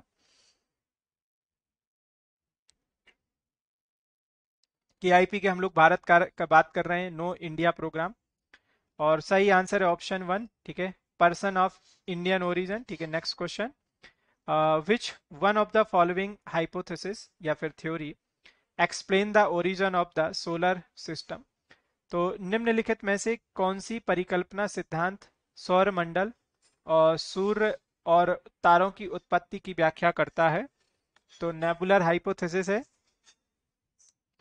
बाइनरी थ्योरी है, बिग बैंग थ्योरी है। इसका सही आंसर आपको बताना है कि इसका करेक्ट आंसर क्या होगा। वो आपको उसमें मिलेगी, ठीक है, वो आपको याद रखिएगा, टेक्स्ट बुक सुपर कोचिंग में मिलेगी। पर्टिकुलर जो आपकी उसकी थ्योरी मतलब क्लासेस है ना, आपको सब्जेक्ट वाइज, आपके कोर सब्जेक्ट की, वो उसमें मिल जाएँगी, ठीक है। So option one is the right answer, nebular hypothesis, ठीक है। भाई मैं देख लेता हूँ यार, मैं गायब कैसे हो गया हूँ? मैं आपको क्यों नहीं दिखाई दे रहा हूँ इसमें? तो मेरा ऑडियो वीडियो तो सब क्लियर है। अच्छा ये कुछ जादू हो गया था, ठीक है।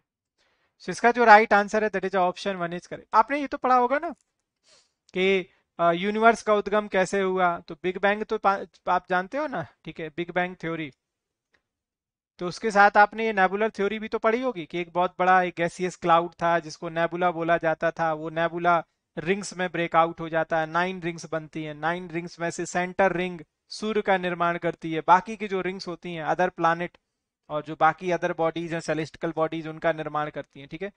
That is a nebular theory ठीक है? तो बिग बैंग जो थ्योरी होती है, ये यूनिवर्स के उद्गम के लिए है, ठीक है? अगला क्वेश्चन है कि Ganga Gram Yojana was launch by which of the following ministries तो गंगा ग्राम योजना निम्नलिखित में से किस मंत्रालय के द्वारा लॉन्च की गई थी, ठीक है? इसका करेक्ट आंसर क्या होगा? Union ministry of water resources river development and Ganga rejuvenation ministry of drinking water and sanitation ministry of rural development ministry of agriculture and farmer welfare तो इसमें से जो सही आंसर है, दोस्तों ministry of drinking water and sanitation ठीक है? So right answer option second is correct ठीक है? अगला क्वेश्चन है which of these cricketers is also known as the क्या पूछेगा ये पंटर तो इनमें से किस क्रिकेटर को द पंटर भी कहा जाता है? रिकी पॉन्टिंग है, सेन वॉर्न है, डेल स्टेन है, या एलियस्टर कुक है। ये काफ़ी नाम पॉपुलर होगा और ये नाम है रिकी रिकी पॉन्टिंग का, ठीक है, ऑप्शन वन इज़ करेक्ट। अगला क्वेश्चन है कि which of the following launch project Mausam तो प्रोजेक्ट मौसम निम्नलिखित में से किसने शुरू किया है? ह्यूमन रिसोर्स डेवलपमेंट मिनिस्ट्री ठीक है ministry of culture ministry of finance and corporate affair ministry of communication ठीक है? तो इसका राइट आंसर क्या होगा? आप किस ऑप्शन के साथ टिक करेंगे? अच्छा ये आपने रखा है। वेरी गुड तो right answer option second ministry of culture is correct option ठीक है? अगला क्वेश्चन है कि in India the first labour strike took place तो भारत में मजदूरों ने सबसे पहले हड़ताल कब की थी? आज के समय में तो कभी भी कर देते हैं, है ना? धरना प्रदर्शन मजदूर तो बहुत कम करते हैं हमारे देश के नेता ज़रूर कर देते हैं। धरना प्रदर्शन भारत बंद ठीक है? बाज़ार बंद मार्केट बंद कभी भी डिक्लेयर हो जाता है। तो 1951, 1918, 1977 या अठारह तो देखो ये था 1877 का नागपुर का। Option three is the right answer ठीक है? ऑप्शन थ्री इज़ करेक्ट ठीक है? Option three is the right answer. फिर उसके बाद आपने सुना होगा कि एक आपने पढ़ा होगा अहमदाबाद मिल तो गांधी जी ने भी हड़ताल करवा दी थी अहमदाबाद में 1918 में, ठीक है? तो ये गांधी जी ने करवाई थी, लेकिन यहाँ पे राइट आंसर ऑप्शन थ्री। अगला सवाल है कि the provision of separate electoral for Sikh was introduce under the which of the following act. ये काफ़ी पॉपुलर था। मॉर्ले मिंटो रिफॉर्म आपने पढ़ा होगा तो इसमें जो सेपरेट इलेक्ट्रॉल, अलग से जो निर्वाचन प्रणाली थी ये लागू की गई थी किसके लिए? फॉर मुस्लिम्स तो यहाँ पर मुस्लिम्स के लिए अलग से निर्वाचन प्रणाली थी, ठीक है? पिट्स इंडिया एक्ट आपको मालूम था कि ये आपके रेगुलेटिंग एक्ट का ही रिफॉर्म पार्ट था। तो इसमें आपने board of council court of director पढ़ा होगा कि ट्रेड और एडमिनिस्ट्रेशन को चलाने के लिए दो बोर्ड का निर्माण किया गया। क्रिप्स मिशन जो था, ये इसको रिव्यू करने के लिए आया था, ठीक है? इसके रिव्यू के लिए क्रिप्स मिशन आया था, जो मॉन्टेक्यू फॉर रिफॉर्म था। तो मॉन्टेक्यू चैम्सफोर्ड रिफॉर्म में ही हमने सिख के लिए, अलग से वो लेकर के आए। एंग्लो इंडियन के लिए भी हम लोग लेकर के आए, ठीक है? तो बांटो और राज्य करो नीति के तहत लेकर के आया गया था तो जो राइट आंसर है that is option three Montagu change reform भी कह सकते हो डायचरी लॉ भी कह सकते हो, या फिर गवर्नमेंट ऑफ़ इंडिया एक्ट 1919 भी कह सकते हो, ठीक है? चलिए, अगला क्वेश्चन क्वेश्चन में पूछा जा रहा है कि the necessity for sustainable development is, ठीक है? तो सस्टेनेबल डेवलपमेंट की आवश्यकता क्या है? इसका सही आंसर क्या होगा? रविकांत जी पूछ रहे हैं कि, सर, ये डिप्लोमा अभी नहीं आया है?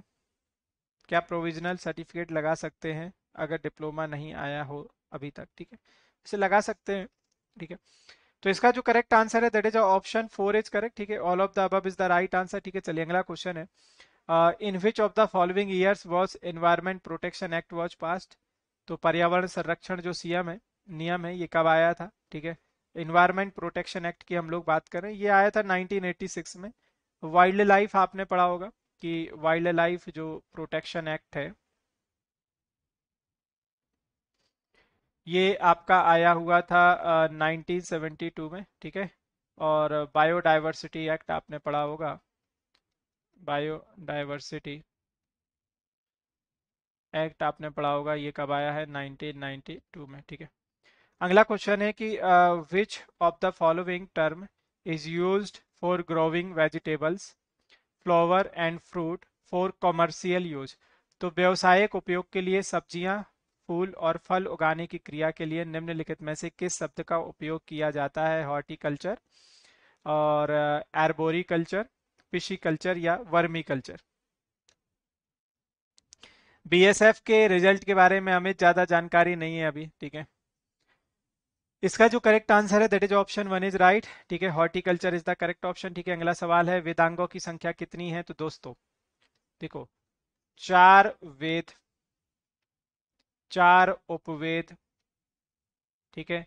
चार वर्ण सिस्टम और चार आश्रम। आश्रम तो पढ़े होंगे ना? ब्रह्मचर्य ग्रस्त, वानप्रस्थ, सन्यासी। अच्छा। फिर पढ़ते हैं अठारह पुराण है।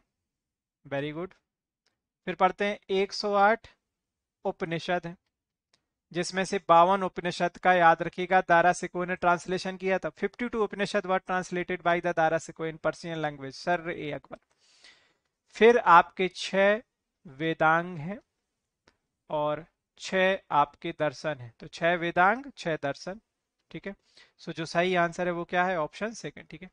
अगला सवाल है कि every vote count the story of Indian election is book of तो every vote count the story of Indian election ये निम्नलिखित में से किसकी किताब है? नवीन चावला है इसमें, गौतम भाटिया है नलिन वर्मा है, या इनमें से कोई भी नहीं, ठीक है? तो इसका जो करेक्ट आंसर है वो क्या है? दट इज़ ऑप्शन ठीक है? One is the correct answer ठीक है? नवीन चावला। अगला सवाल है Nairobi is the capital of which country तो नायरोबी निम्नलिखित में से किस देश की राजधानी है? केन्या है, घाना है, साउथ अफ्रीका है या Nigeria? So which option is right दोस्तों? और ये है आपकी केन्या, ठीक है? So option three is the right answer ठीक है? तो आपने अभी टाइगर्स पढ़े हैं भाई। टाइगर्स कहाँ से आ रहे हैं? नामीबिया से या या ये नैरोबी से कहाँ से टाइगर्स जो अभी हाल ही में आ रहे हैं हमारे देश में एट टाइगर्स आ रहे हैं ना? हो सकता है आ भी चुके होंगे अब तो उनको। सुबह से हमारी मीडिया टाइगर्स को दिखा रही है। अच्छा वो नामीबिया से आ रहे हैं ना? आपने देखा न्यूज़ चैनल को? सुबह से टाइगर्स दिखा रहे हैं। पूरा का पूरा मीडिया उसी में व्यस्त है कि टाइगर्स कैसे उतरेंगे, कैसे जाएँगे, क्या करेंगे। मुझे लगता है रात में मीडिया वाले ये भी दिखाएँगे कि टाइगर्स सोएँगे कब, कैसे। है ना? टाइगर्स ने कितने घंटे नींद ली? टाइगर्स ने ब्रेकफास्ट में क्या खाया? सब कुछ दिखाया जाएगा पूरा। छह छह घंटे का लाइव दस दस घंटे का लाइव ठीक है? चलिए गाइस नेक्स्ट अपडेट में चलते हैं यहाँ पर ठीक है? सो so, आज ही याद रखिएगा this is the last day मैं आपको अगेन रिमाइंडर दे दूँ। और ये जो 70 परसेंट तक का डिस्काउंट ये खत्म हो जाएगा। सो so, इनरोल ज़रूर करिए आज ठीक है? क्योंकि देखिए प्रिपरेशन करना है तो मन लगा करके करिए और एक कंप्लीट पैकेज के साथ पढ़िए। अगला क्वेश्चन देखिएगा जरा नेक्स्ट क्वेश्चन क्वेश्चन में पूछा गया है कि which of the following language is recognise as the official language under the eighth schedule of the Indian constitution ठीक है? सो इसका जो करेक्ट आंसर हो जाएगा विच ऑप्शन इज़ करेक्ट अच्छा चीते आ रहे हैं टाइगर्स नहीं है। अच्छा चीता आ रहे हैं। ठीक है भाई चीता है। ठीक है। सो so, वैसे भी हमारे देश में एक चीता है। क्या नाम है उनका? आ, एक मूवी भी बनाई थी उन्होंने चीता की जिसमें फिजिक्स के उन्होंने सारे रूल तोड़ दिए थे। द, आ, क्या नाम है उनका? बहुत ओल्ड एक्टर्स हैं। अब तो वेस्ट बंगाल से नेता इस समय पॉलिटिशियन हो चुके हैं। तो इसका देखो जो करेक्ट आंसर है that is option yes one is the right answer ठीक है? तो ये पूछा गया आठवीं अनुसूची के तहत निम्नलिखित में से कौन सी आधिकारिक भाषा के रूप में पहचानी जाती है? तो ये है। और टोटल आपकी कितनी है? आ, कितनी भाषाएँ हैं? बाईस भाषाएँ हैं ना आठवीं अनुसूची में ठीक है? बाईस। तो पहले चौदह थी। पंद्रहवीं सिंधी आपने पढ़ी है। सिंधी। फिर आपने पढ़ी थी कि तीन जोड़ी गई थी। मनुपुरी, कोकनी, नेपाली, उसके बाद चार जोड़ी गई, बोडो, डोंगरी, मैथिली और संथाली, ठीक है। अगला क्वेश्चन देखिएगा जरा नेक्स्ट क्वेश्चन क्वेश्चन में पूछा जा रहा है कि Polavaram irrigation project is being constructed on Rahul ji की काफ़ी बड़ी समस्या है, देख रहे हैं ये।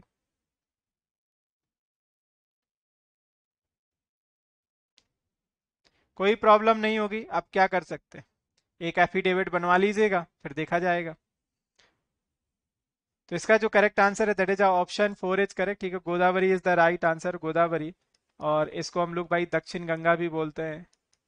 तो कई बार इस पे सवाल आया है, दक्षिण गंगा या फिर ओल्ड गंगा। ठीक है? और ओरिजिन ज़रूर पढ़िएगा कि ओरिजिन कहाँ से है, नासिक है इसका? तंबकेश्वर के पास से, ठीक है? और longest peninsular river longest peninsular river. अगला क्वेश्चन है कि दुनिया का सबसे बड़ा जलद्वीप माजुली किस नदी पर स्थित है? तो माजुली देखो, ये कौन सी नदी बनाती है? एक नदी है जिसका उद्गम तिब्बत से होता है। तिब्बत में इसका नाम टी सांगपो है। चेमा युंगडुंग ग्लेशियर से उदय होता है। फिर चेमा युंगडुंग ग्लेशियर से ये नदी निकलती है और ये यहाँ से चेमा युंगडुंग ग्लेशियर से बहती हुई आ रही है। सब लोग देख पा रहे हैं ना? बहती हुई आ रही है। फिर ये देहांग ज़ोर से इंटर करती है अरुणाचल प्रदेश में।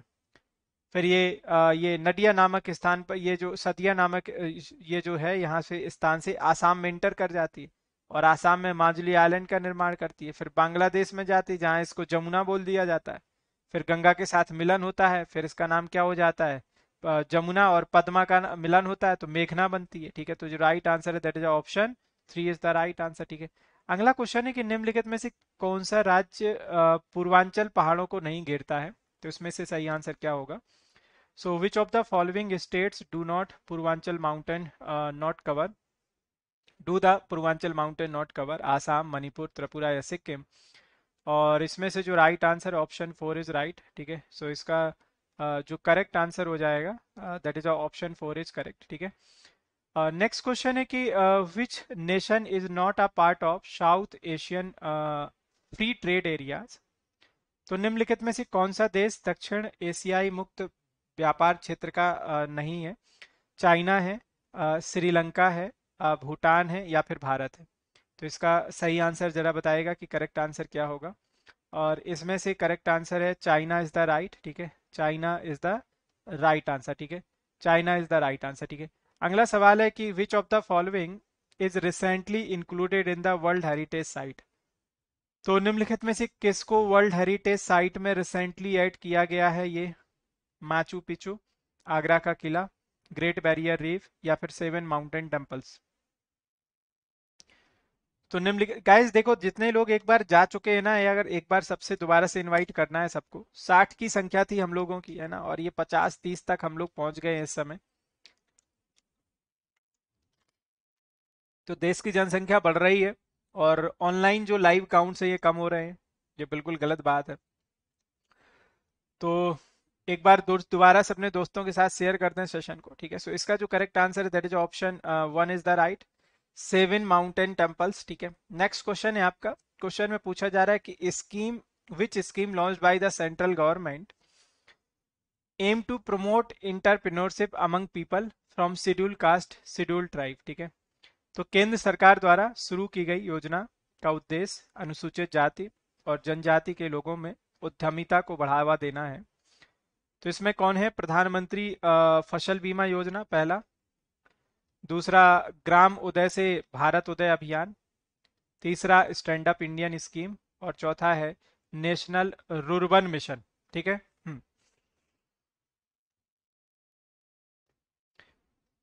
ओके रूप सिंह जी वेलकम स्वागत है सेशन में ठीक है सो इसका जो राइट आंसर है option three is the right answer ठीक है stand up and stand up India scheme option three is correct ठीक है अगला सवाल है पूछा जा रहा है हु फाउंडेड द मैकडोनाल्ड तो मैकडोनाल्ड निम्नलिखित में से किसने स्थापित किया मोस्टली जितने भी इंजीनियर्स देख रहे होंगे इन्होंने अपनी इंजीनियरिंग कॉलेज में काफ़ी पैसा खर्च किया होगा मैकडोनाल्ड्स में जाकर के है ना अपने लिए नहीं किसी और के लिए ज़रूर किया होगा इन बेचारों ने बहुत बेरोजगारी उठाई होगी उस समय। तो इसमें रिचर्ड और मॉरिस होगा ठीक है। बिल बर्मन और फिलिप नाइट होगा। फ्रेडिक एदेशन टेम और लियो मैक आ, कौन सा है? हाँ। और लास्ट है लैरी एलिशन और बॉब माइनर ठीक है। सो इसका जो करेक्ट आंसर है that is option one is the correct option ठीक है। Option one is the right ठीक है। चलिए अगला क्वेश्चन नेक्स्ट क्वेश्चन पे हम लोग चलते हैं। क्वेश्चन पूछा जा रहा है कि व्हेन वाज द स्कूल चलो अभियान started for primary education in Uttar Pradesh. तो स्कूल चलो अभियान अगर आपको याद हो तो एक दूरदर्शन पे ऐड आया करता था बहुत पहले शुरुआत में। और अटल जी के समय ये आया था जब अटल जी हमारे देश के प्रधानमंत्री थे। तो एक साक्षरता अभियान था, एक साक्षरता अभियान और उस समय चलता था स्कूल चले हम। आईटीआई के जो क्वेश्चन है, विकास याद रखिएगा, ये आपके जो सुपर कोचिंग है मतलब उसमें मिलेंगे आपको, ठीक है? यूट्यूब पे बड़ा मुश्किल है मिल पाना आईटीआई के जो सेशन है आपको। तो 2000 1993 2003 या 2002 और इसका जो राइट आंसर है दैट इज़ अ 2000 तो आपने पढ़ा होगा कि 2000 में हमारे देश के प्रधानमंत्री अटल बिहारी वाजपेयी थे। एक बहुत बड़ा कैंपेनिंग लॉन्च किया था, साक्षरता अभियान उन्होंने। और स्कूल चले हम करके एक ऐड भी लॉन्च किया था, ठीक है? तो ये हर एक स्टेट में लागू किया गया था, ठीक है? नेक्स्ट क्वेश्चन है आपका कि which of the following is not correctly match तो निम्नलिखित में से कौन सही तरीके से सुमेलित नहीं है ठीक है? ये आपको बताना है। तो आपको स्टोन्स की वेराइटी दी गई है जैसे सैंड स्टोन तो कॉन्ग्लोमीरेट है। तो सिविल वाले बताइए भाई सभी लोग सिविल में तो ज़रूर पढ़ा होगा। So, इसका जो राइट आंसर है that is a option second is the right answer Sushil definitely होगा। आईटीआई का भी ये डेफिनेटली होगा ठीक है? Option second is the right ठीक है? Option second is right limestone is the correct answer ठीक है? ऑप्शन सेकेंड इज़ करेक्ट ठीक है? चलिए, अगला क्वेश्चन है।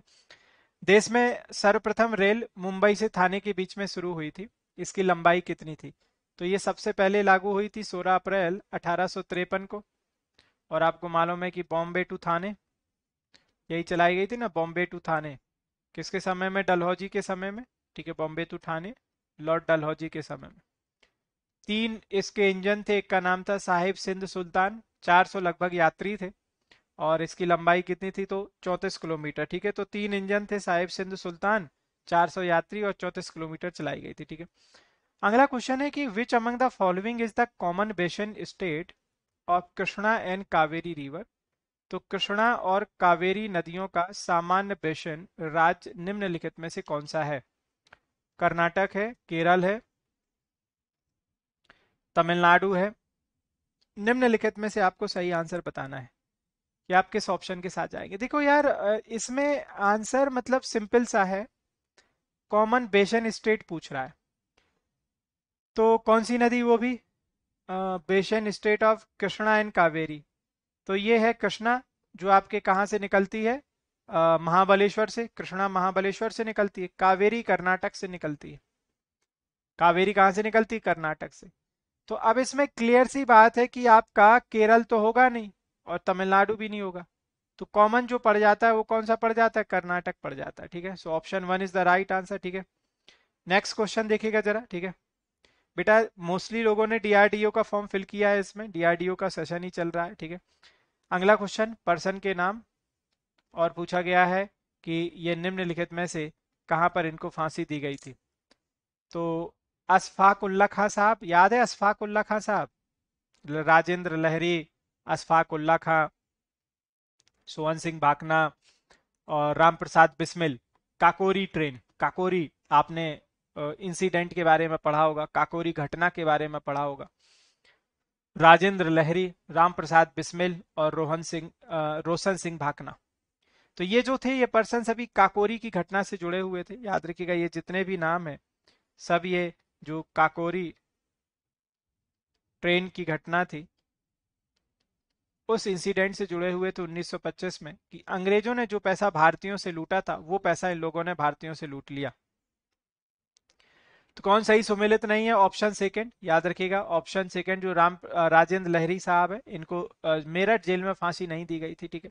और राम प्रसिद्ध बिस्मल इसके मुख्य लीडर थे। कई बार पूछा जाता है कि इसके लीडर कौन थे? मुख्य हेड कौन थे इस पूरे के, घटना के?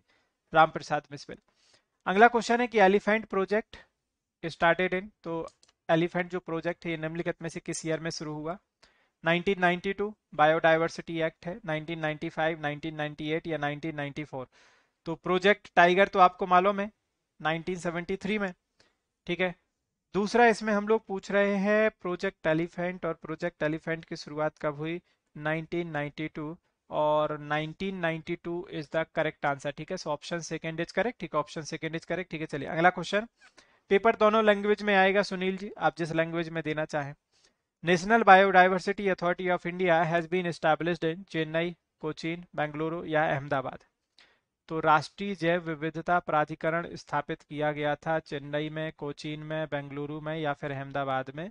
इस क्वेश्चन का सही आंसर क्या होगा? आप किस ऑप्शन को टिक करने जाएँगे? तो इस क्वेश्चन का जो राइट right आंसर हो जाएगा वो कौन सा हो जाएगा? That is option one is correct ठीक है? So Chennai is the right answer ठीक है? सो इस क्वेश्चन का जो करेक्ट आंसर ऑप्शन वन ठीक है? अगला सवाल है कि वेदरिंग इज़ रिलेटेड टू तो अपक्षय का विचार संबंधित है। निम्नलिखित में से किससे अपक्षय का विचार संबंधित है? Collection of segregate material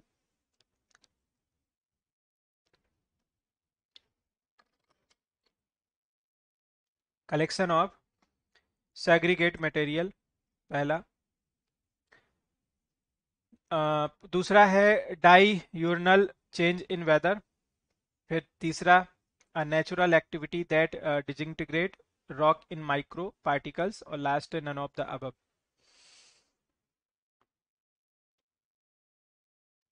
तो इसका जो करेक्ट आंसर है that is option three is the right answer ठीक है? ऑप्शन थ्री इज़ राइट ठीक है? Next question which of the following place रिवेल leader pair is not correctly match तो अठारह के रिवोल्ट के बारे में हम लोग देख रहे हैं। अठारह का जो रिवोल्ट था। तो रिवोल्ट के लोकेशन और रिवोल्ट के लीडर्स के बारे में पूछा जा रहा है। तो यहाँ पे तो भाई नाना साहेब थे, यहाँ पे तो पेशवा थे। इन्होंने वो किया था। बेगम हज़रत महल आपकी लखनऊ से थी, है ना? अलाहाबाद से लियाकत अली ठीक है। खान बहादुर खान रोयल खंड ठीक है झांसी से लक्ष्मीबाई ठीक है ठीक है? तो नाना साहेब थे यहाँ पे याद रखिएगा नाना साहेब। ठीक है हाँ यहाँ से आप नाना साहेब लिख सकते हैं ठीक है? तो इसका जो गलत है वो कौन सा है? दैट इज़ ऑप्शन वन ठीक है? ऑप्शन वन इज़ करेक्ट ठीक है? चलिए अगला क्वेश्चन है। क्वेश्चन पूछा गया ब्रह्म समाज का सिद्धांत क्या है? ब्रह्म समाज। सो so, अद्वैतवाद हाँ ये यार बड़ा एक इम्पोर्टेंट सवाल है। द्वैतवाद विशिष्ट द्वैतवाद, द्वैत, अद्वैतवाद और अद्वैतवाद, ठीक है? आपने पढ़ा होगा कि ये अपने आप में बहुत इंपॉर्टेंट है। द्वैतवाद, विशिष्ट द्वैतवाद और अद्वैतवाद और द्वैत अद्वैतवाद, जिसमें आपने पढ़ा है ना कि माधवाचार्य निम्बकाचार शंकराचार है ना रामानुजाचार ये इसके अलग अलग फाउंडर रहे ये और इतना कंफ्यूज करता है लोगों को ये पूछिए मत है ना। सो so, इसका जो करेक्ट आंसर है that is option three is the right answer Brahmo Samaj ठीक है।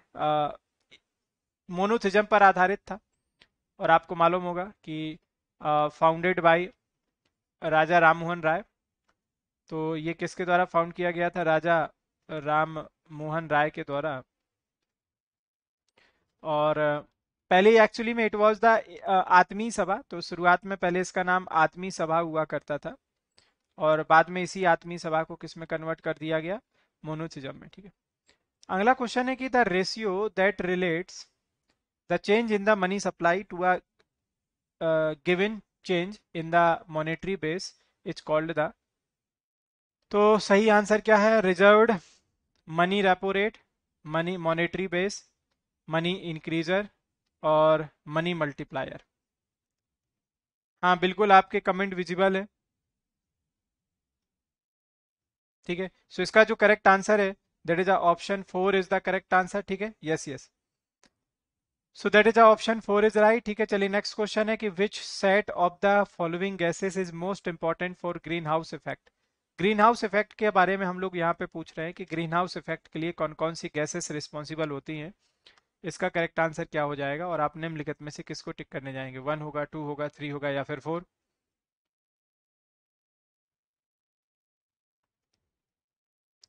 carbon dioxide methane chlorine nitric oxide so देखो यार क्लियर सी बात है कि कार्बन डाइऑक्साइड है इसमें, ठीक है? तो थर्ड ऑप्शन पे देखिएगा। मीथेन भी है नाइट्रस ऑक्साइड भी है और वाटर वेपर भी है, ठीक है? तो इसका जो correct answer option three is right ठीक है? चलिए अगला क्वेश्चन है। Writ issued to secure the release of a person found to be detain illegally तो रिट्स के बारे में आपने पढ़ी है ना? रिट्स पावर और ये जो रिट्स पावर होती हैं, किसके पास होती हैं? ये सुप्रीम कोर्ट के भी पास हैं और ये हाई कोर्ट के भी पास हैं। सुप्रीम कोर्ट की जब हम लोग बात करते हैं तो आर्टिकल 32 में परिभाषित हैं और जब हम लोग किसकी बात करते हैं? हाई कोर्ट की तो आर्टिकल कौन सा है? टू ट्वेंटी सिक्स में परिभाषित है। हाई कोर्ट्स के पास टोटल छह प्रकार की रिट्स होती हैं। और सुप्रीम कोर्ट के पास जो टाइप है टोटल रिट्स के वो कितने होते हैं? टोटल फाइव टाइप्स होते हैं। तो इसमें से जो करेक्ट आंसर हो जाएगा वो कौन सा हो जाएगा? Second is right habeas corpus is the correct option ठीक है? मैंडामस का क्या होता है कि अगर कोई लोअर बॉडी या लोअर कोर्ट परफॉर्म नहीं कर रही अपनी ड्यूटी को तो मैंडामस पर हम आदेश देगा ठीक है? सर्टेरी का मतलब होता है कि जो लोअर कोर्ट होती है जो पब्लिक राइट्स uh, को सिक्योर करती है वो सर्टिफाइड बाई है सुप्रीम कोर्ट और हाई कोर्ट प्रोहिबिशन का मतलब होता है कि कोई एक ऐसा क्षेत्र या मामला जो लोअर कोर्ट के अधिकार क्षेत्र में नहीं है तो अपर कोर्ट उसको रोक सकती है। अगला क्वेश्चन देखिएगा कि which of the following language is the most widely spoken language of Tripura तो निम्नलिखित में से कौन सी भाषा त्रिपुरा की सबसे व्यापक रूप से बोली जाने वाली भाषा है? बंगाली, चकमा। बेटा अंकुर सर की किताब पता नहीं कब होती है, लेकिन आप, क्लास कब होती है, लेकिन आप बेकार में ब्लॉक मत हो जाइएगा, है ना? संभालिए अपने आप को थोड़ा सा। संभालिए। बंगाली है चकमा है कोक बोरोक है या फिर अंग्रेज़ी तो इसका जो करेक्ट आंसर है that is option one is right ठीक है? Bengali is the correct option ठीक है? अगला क्वेश्चन है कि J L Baird was responsible for the invasion of ठीक है? तो ये निम्नलिखित में से के सॉरी किसके इन्वेंशन के लिए? It is a invention not invasion ठीक है? तो जे एल बेयर्ड ने निम्नलिखित में से किसकी खोज की थी? एयर पे आ, हाँ टेलीविज़न है, मोबाइल फ़ोन है, कैमरा है या एयरप्लेन है। और इसका जो राइट आंसर टेलीविज़न, ठीक है। So option second is right ठीक है, अगला क्वेश्चन है। Which of the following was renovated by Maharaja Maharana Ranjit Singh and is located alongside Tawi river ठीक है। सो इसका राइट आंसर कौन सा ऑप्शन करेक्ट होगा? One two three and four तो निम्नलिखित में से कौन सा महाराजा रंजीत सिंह द्वारा पुनर्निर्मित किया गया था? और तावी तवी नदी के किनारे स्थित है। बाहू फोर्ट है, भीमगढ़ का किला है, हीरानगर फोर्ट है, या फिर रियासी किला है, ठीक है? सो इसमें से जो करेक्ट आंसर है that is option one is correct ठीक है? Bahu fort is the right answer ठीक है? चलिए अगला सवाल है। एक जगह आपके क्या दिए गए हैं? जल डमरू मध्य के नाम है, और दूसरे ये दिए गए हैं कि ये जल डमरू मध्य निम्नलिखित में से किसको कनेक्ट करते हैं, ठीक है? जल डमरू मध्य। जैसे हम लोग पढ़ते हैं ना पाक स्ट्रेट तो इंडिया श्रीलंका को कनेक्ट करते हैं। यहाँ पे दिए गए हैं बॉस्परस दूसरा है केरच फिर है कुक और लास्ट है आपकी कौन सी? बास तो बास स्ट्रेट है इंडियन ओशियन और पैसिफिक ओशियन को। कुक स्ट्रेट तस्मान ओशियन और साउथ पैसिफिक ओशियन को। और बॉस्परस है ब्लैक सी और कौन सा मरामा हाँ मारमारा सी ठीक है। सो इसका जो करेक्ट आंसर है सेकेंड को बस छोड़ दो। बाकी सही answer option three. Next question हाँ आईटीआई के लिए भी है डेफिनेटली आप आईटीआई के लिए भी फॉलो कर सकते हैं, ठीक है।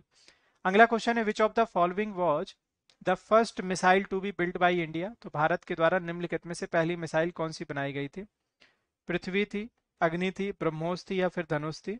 इसका सही आंसर क्या होगा? जरा बताइएगा कि निम्नलिखित में से आप किस ऑप्शन के साथ जाएँगे। तो वन हो जाएगा दोस्तों टू हो जाएगा थ्री हो जाएगा या फिर फोर है ना? और इसका जो करेक्ट आंसर हो जाएगा that is option one is correct ठीक है? सो इसमें जो हम लोग सही आंसर टिक करने जाएँगे option one is the right answer ठीक है? अगला क्वेश्चन है कि in India May two twenty one is observe as ठीक है? तो जरा बताएगा कि 21 मई को हम लोग किसके तौर पर ऑब्ज़र्व करते हैं? निम्नलिखित में से आप किस ऑप्शन के साथ जाएँगे? सो so, वन होगा टू होगा थ्री होगा या फिर फोर ठीक है?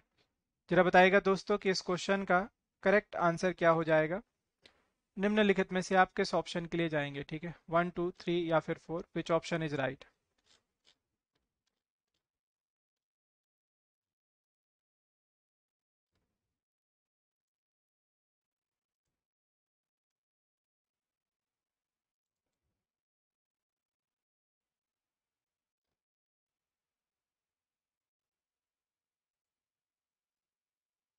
जी हाँ तो इसमें राइट आंसर क्या टिक टिक किया सभी ने? अच्छा मैक्सिमम लोगों ने कर दिया। चलिए देख लेते हैं कि क्या सही टिक किया है। So that is the option four is the right answer ठीक है? That is a national anti terrorism day क्योंकि एनआरआई डे जो है ये है आपका नाइन्थ जनवरी को। नाइन्थ जनवरी को। और uh, ये जो आता है आपका बारह जनवरी को। यूथ दिवस बारह जनवरी को है ना? 21 मई को पूछा गया है, ठीक है? हाँ डीआरडीए के जितने भी एग्ज़ाम है सभी के लिए है, ठीक है? सो इसमें जो करेक्ट आंसर है option four is the right answer ठीक है? सो इसका जो करेक्ट आंसर है दैट इज़ ऑप्शन फोर ठीक है? चलिए, अगला सवाल है। भारतीय संविधान का अनुच्छेद 37 ए को विशेष विशेष अधिकार प्रदान करता है नागालैंड, मिजोरम, सिक्किम या मणिपुर। देखिए, अगर 370 की बात करते तो ये तो एब्रोगेट हो गया, ये जम्मू कश्मीर से जुड़ा हुआ था, ठीक है? तो ये तो एबोलिस हो चुका है, ठीक है? अब इसको एबोलिश कर दिया गया है, ठीक है? तो इसमें से जो सही आंसर है वो कौन सा है? दैट इज़ अ नागालैंड ठीक है? So option one is right ठीक ऑप्शन वन इज़ राइट ठीक है? अगला क्वेश्चन है कि how zonal council were set up vide part third of the state reorganisation act 1956 तो आपको याद है ये? राज्य का, राज्यों का जो पुनर् वो स्थापना किया गया था, ठीक है? फजल अली आयोग का निर्माण किया गया था तो एट्थ था सेवेंथ था या सिक्स था, ठीक है तो इसका जो राइट आंसर है दैट इज़ ऑप्शन फोर ठीक है fifth is the right answer ठीक है। अगला क्वेश्चन है, गुरु नानक के बाद कौन से गुरु आए? तो टोटल हम लोग दस पढ़ते हैं ना टोटल दस पढ़ते हैं हम लोग। तो इनमें से जरा बताइएगा। हरगोविंद थे, रामदास थे, अर्जन देव थे तो अर्जन तो आपके फिफ्थ थे ना? और रामदास आप फोर्थ थे, अगर आपको याद हो। तो इसमें जो करेक्ट आंसर हो जाएगा कौन से गुरु अंगद, ठीक है? याद रखिएगा, इसका जो करेक्ट आंसर हो जाएगा वो कौन है? अंगद। नाइन्थ थे गुरु तेग बहादुर। और दसवें हम लोग जो पढ़ते हैं वो कौन से थे? दसवें। तो दसवें भी बहुत इंपॉर्टेंट है, गुरु गोविंद सिंह, ठीक है? नेक्स्ट क्वेश्चन है, निम्नलिखित में से कौन सा भारतीय और रूसी नौसेना के बीच द्विवार्षिक समुद्री अभ्यास है? रूसी नौसेना के बीच पूछ रहे हैं हम लोग। इंदिरा है, सूर्य किरण है, कोंकण है, या हैंड इन हैंड है? और इसका जो करेक्ट आंसर है that is option second is the right answer Indira आपने पढ़ा होगा। देखो सूर्य किरण जो होती है, ये शायद होती है नेपाल के साथ, है ना? नेपाल के साथ। जापान के साथ आई होप कि हमारी हैंड इन हैंड होती है, या मे बी जापान और चाइना के साथ ये होती है हैंड इन हैंड ठीक है? तो इसका जो करेक्ट आंसर है that is option second is correct ठीक है? Option second is the right answer ठीक है? चलिए गाइस थोड़ा सा दूसरे और कुछ नए सवाल हम लोग देखते हैं। Yes yes. हम्म जरा बताइएगा कि इसका राइट आंसर क्या होगा? आई होप कि it is visible for everyone निम्नलिखित में से कौन भारतीय पुरातत्व सर्वेक्षण के सबसे पहले जनरल थे? James Prinsep Alexander Cunningham James Burgess या फिर निम्नलिखित में से कोई भी नहीं। तो इसमें जो करेक्ट आंसर होगा जो सही आंसर हम लोग टिक करने जाएँगे that is a option second is is the right answer ठीक है? अलेक्जेंडर कनिंगम इज़ करेक्ट ठीक है? So option second is correct ठीक है? अगला क्वेश्चन है कि who among the following was the first army officer of independent India to be conferred the rank of field marshal तो सबसे पहले कौन से ऐसे आर्मी अधिकारी थे जिनको हमने क्या दिया गया था? फ़ील्ड मार्शल का जो है पद से सम्मानित किया था।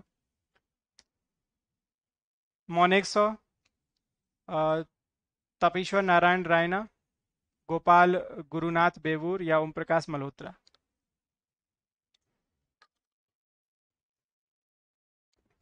So the right answer is option second Gopal Gurunath Bewoor is the right answer ठीक है so option second is correct ठीक है अगला क्वेश्चन हिंदू संत कौन थे जिन्होंने भारत के मंदिरों में जानवरों की हत्या को लेकर के अनशन किया?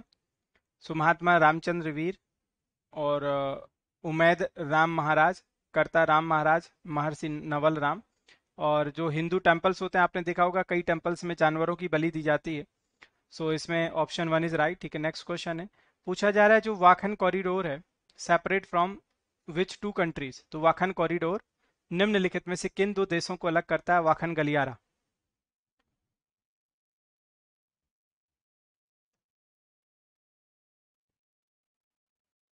नहीं लास्ट क्वेश्चन का जो राइट आंसर है गोपाल गुरुनाथ बेऊर है, जिन्हें सबसे पहले फ़ील्ड मार्शल के पद से सम्मानित किया गया था। ठीक है सो इसका सेकंड था right answer okay that is a Tajikistan and Pakistan ठीक है so option three is right ठीक है option three is right next question which of the following person gave the statement swaraj for masses not for the classes ठीक है? तो ये कथन निम्नलिखित में से किसका था? बाल गंगाधर तिलक ने तो दिया था swaraj is my birthright and I shall have it तो इन्होंने बोला था, भाई स्वराज मेरा जन्म से अधिकार है, मैं इसको लेकर के रहूँगा। है ना? मोतीलाल नेहरू नेहरू रिपोर्ट से जुड़े हुए हैं, सिराज गोपालाचारी। आई होप कि इनको आपने पढ़ा ही होगा सी आर दास। तो इसका जो राइट आंसर है सी आर दास, ठीक है that is option one is correct और इनको हम लोग देश बंधु के नाम से भी जानते हैं। इनका कई बार टाइटल पूछा जाता है तो इनका टाइटल याद रखिएगा देश बंधु है। और ये किससे भी जुड़े हुए हैं? स्वराज पार्टी। तो इन्होंने स्वराज पार्टी की भी स्थापना की थी, वो भी इम्पोर्टेंट है। और ये जो पार्टी की स्थापना की गई थी 1923 में और, ये गुरु माने जाते हैं किसके? सुभाष चंद्र बोस के। तो एस सी बोस के गुरु भी माने जाते हैं, ठीक है? C R Das, Chittaranjan Das. अगला क्वेश्चन है कि who of the following founded the Indian Revolutionary Organization named Indian Independence League in USA? तो इंडियन इंडिपेंडेंस लीग यूएसए में किसने स्थापना की थी? अब देखो, इसमें आप लाला हरदयाल के बारे में पढ़ोगे। तो लाला हरदयाल ने गदर पार्टी की स्थापना की थी। He founded Ghadar Party.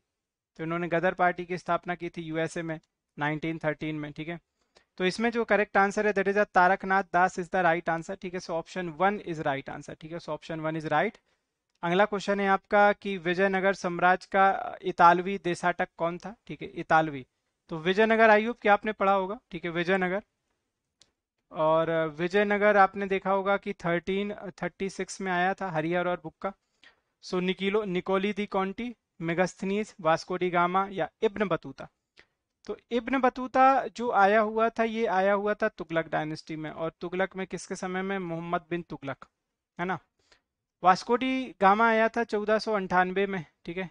Megasthenes आया हुआ था चंद्रगुप्त मौर्य के समय में। तो इसमें एक ही बच जाता है, कौन सा? Niccolo de Conti. Option one is the right answer, ठीक है? इटालियन पूछ रहा है ना, कहाँ का है ये? इटली का, ठीक है? हाँ इटालियन ही तो पूछा गया। So option one is right, ठीक है? अगला क्वेश्चन में पूछा गया कि which country is known as the land of maple leaf ठीक है? तो निम्नलिखित में से किस देश को हम लोग लैंड ऑफ़ मैपल लीफ के नाम से जानते हैं? जापान है ऑस्ट्रेलिया है स्कॉटलैंड है या कनाडा? सो इसमें से uh, किस ऑप्शन के लिए हम लोग जाएँगे? ठीक है? और इसमें से जो करेक्ट आंसर है that is option four is correct ठीक है? Canada is the right answer तो ये इसका करेक्ट आंसर हो जाएगा ठीक है? ये इसका राइट आंसर हो जाएगा ठीक है? अगला सवाल है कि which Indian historian won Israel prestigious Dan David prize तो किस भारतीय इतिहासकार ने इसराइल का प्रतिष्ठित डैन डेविड पुरस्कार जीता था? संजय सुब्रमण्यम मृदुला मुखर्जी इफरान हबीब या सुमित सरकार? सो so, इसमें से जो करेक्ट आंसर है that is option one Sanjay Subrahmanyam is the right ठीक है? तो इस क्वेश्चन का जो करेक्ट आंसर है जो राइट आंसर है that is option one is right ठीक है? अगले क्वेश्चन में चलते हैं। मिस्टर डोंग बोल रहे हैं सेशन को लाइक और शेयर ज़रूर करें। तो जितने भी लोग हैं, जिन्होंने अभी भी लाइक शेयर नहीं किया, जल्दी से लाइक और शेयर कर दीजिए, ठीक है? नेक्स्ट क्वेश्चन देखिएगा। क्वेश्चन में पूछा गया है कि which of the following rivers originate from the Vindhyan range तो निम्नलिखित में से कौन नदी, सी नदी का विंध्य श्रेणी से उद्गम होता है? बेतवा है, कावेरी है, चिनाब है या गोमती? तो बेतवा, कावेरी, चिनाब या गोमती? और इसमें एक ही है Betwa is the right answer option one is correct ठीक है? अगला क्वेश्चन है आपका कि the speakers of major Indian language belong to how many families तो प्रमुख भारतीय भाषाओं के बोलने वाले कितनी भाषा परिवारों से हैं? दो, तीन, चार या फिर छः और इसका जो करेक्ट आंसर है that is option one is correct ठीक है? ऑप्शन वन इज़ राइट ठीक है? नेक्स्ट क्वेश्चन अलाउद्दीन खिलजी द्वारा निर्मित प्रसिद्ध अलाई दरवाज़ा कहाँ पर स्थित है? तो अलाउद्दीन खिलजी ने एक इंट्रेंस गेट बनवाया था और ये आपको मालूम है कि it is a entrance gate of Qutub Minar. Entrance gate of Qutub Minar. तो इसमें जो राइट आंसर है that is option second is correct ठीक है? Delhi is the right answer next question which state in India will you find the Jamrai Tlang mountain तो ये निम्नलिखित में से भारत के किस राज्य में आपको मिलेगा? त्रिपुरा में, आसाम में, बिहार में या सिक्किम में?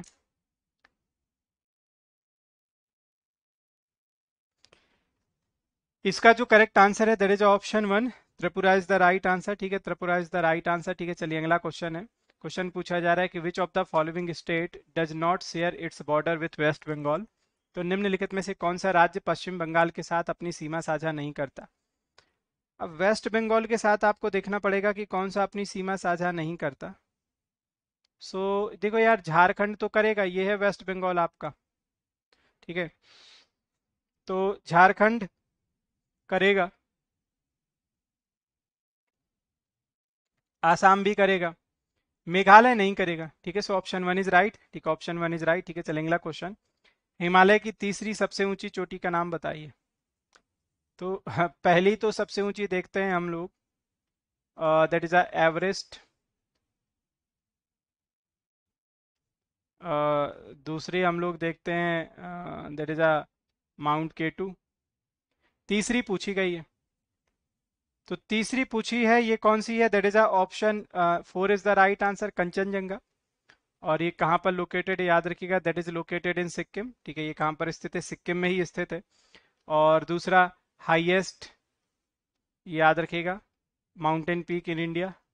तो भारत की सबसे ऊँची चोटी है। अगर भारत के रिस्पेक्ट में पूछा जाए तो हम लोग माउंट कंचनजंगा को ही टिक करने जाएँगे, ठीक है? नेक्स्ट क्वेश्चन है कि the Sanjay national park is extend into the district of. तो संजय नेशनल पार्क कहाँ पर स्थित है? संजय तो मध्य प्रदेश में पढ़ोगे संजय गांधी होगा तो महाराष्ट्र में पढ़ोगे है ना? और इस समय मध्य प्रदेश का एक और टाइगर रिज़र्व न्यूज़ में है। कोनो तो कोनो नेशनल पार्क भी ज़रूर पढ़ के जाना है, हंड्रेड परसेंट पूछा जा सकता है। तो राइट आंसर है दैट इज़ अ सीधी और Singrauli is the correct answer ठीक है, चलिए अगला क्वेश्चन है। What is called the maximum distance from the sun in a planet to its orbit तो आपने देखो थर्ड जनवरी और फोर्थ जुलाई पढ़ा होगा। तो थर्ड जनवरी और फोर्थ जुलाई। तो अपसौर और उपसौर के बारे में पढ़ा होगा आपने, ठीक है? नहीं माउंट के टू है तो अपनी लेकिन एनसीईआरटी उसको एक्सेप्ट नहीं करता आँसू अभी। एनसीईआरटी जो बोलता है कि वो हमारी कंचनजंगा है क्योंकि माउंट के टू डिस्प्यूटेड मानता है। तो ये जो आ, मतलब पेरीहिलियन होता है ये पास के लिए होता है कि जब आपका प्लानिट हमारी अर्थ सूर्य के पास होती है और उपसौर होता है ये दूर के लिए होता है। ठीक है? तो इसमें जो राइट आंसर है दैट इज़ नोन एज ठीक है ऑप्शन कौन सा है? सेकेंड इज़ राइट ठीक है? अगला क्वेश्चन सुंदरबन दुनिया में ज्वारी पूछा गया है कि लवण मृदोद्भिद वन का सबसे बड़ा एकल खंड है। तो इसमें दलदली है, मैंग्रोव, पैपिरस या फिर वुडी झाड़ी। और आई होप कि सभी को मालूम है, mangrove option three is right तो इसको हम लोग अमेजन को क्या भी बोलते सुंदरबन को क्या भी बोलते हैं? अमेजन ऑफ़ ईस्ट आपको मालूम है कि इसको क्या भी बोला जाता है? अमेजन ऑफ़ ईस्ट ठीक है? और दूसरा गंगा और ब्रह्मपुत्रा के द्वारा इसका निर्माण किया जाता है, ठीक है? गंगा एंड ब्रह्मपुत्र। अगला सवाल है आपका कि the main mountain ranges of India do not includes तो भारत की मुख्य पर्वत श्रृंखलाओं में क्या शामिल नहीं है? हिंदू कुश पहला, दूसरा विंध्या, तीसरा अरावली और चौथा सतपुड़ा। तो इसमें से आप किस ऑप्शंस के साथ जाएँगे? और इस क्वेश्चन क्वेश्चन का जो right answer option one is correct ठीक है? हिंदू कोश इज़ द राइट आंसर ठीक है? हिंदू कोश इज़ द करेक्ट आंसर ठीक है? चलिए अगला question dissolved oxygen in rivers is close to parts per million तो इसका करेक्ट आंसर क्या होगा? आप कित ऑप्शन के साथ चलेंगे, ठीक है? अभी तो काफ़ी क्वेश्चंस रिमेनिंग है।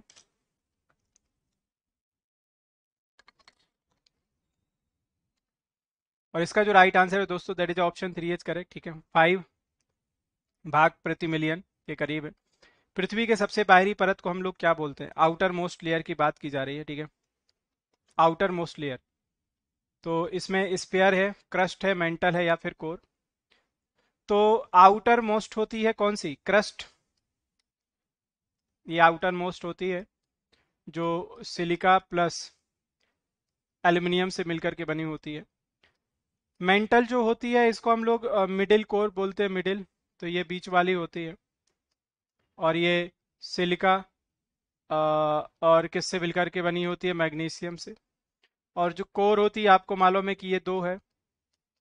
एक होती है आउटर, जो लिक्विड अवस्था में है, और दूसरी होती है आपकी इनर। आउटर और इनर। इनर जो होती है, वो कैसी होती है? सॉलिड। और ये निकल प्लस आयरन से मिलकर के बनी होती है, ठीक है? अगला क्वेश्चन है आपका सो इसका जो right answer option second next question है। What was the capital of Maharaja Ranjit Singh kingdom? तो महाराजा रंजीत सिंह के राज्य की राजधानी क्या थी? पटना, फतेहपुर सीकरी, इस्लामाबाद या फिर लाहौर? महाराजा रंजीत सिंह के राज्य की राजधानी की बात कर रहे हैं हम लोग, ठीक है?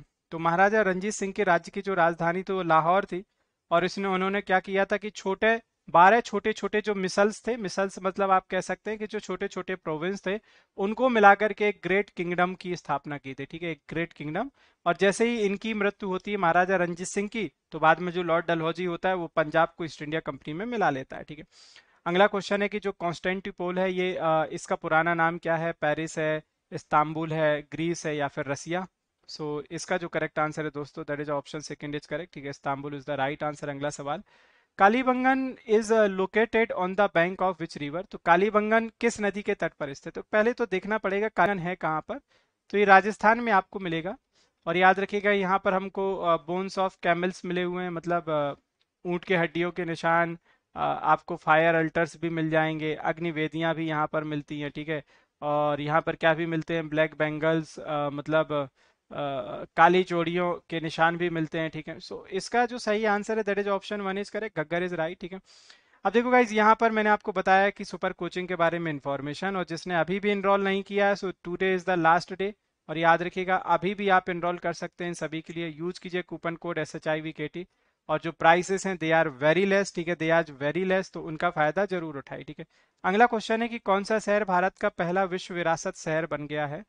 So which city became India's first world heritage city अब अभी वर्तमान में अगर आप देखेंगे तो देर आर टोटल फोर आपके हेरिटेज सिटी है।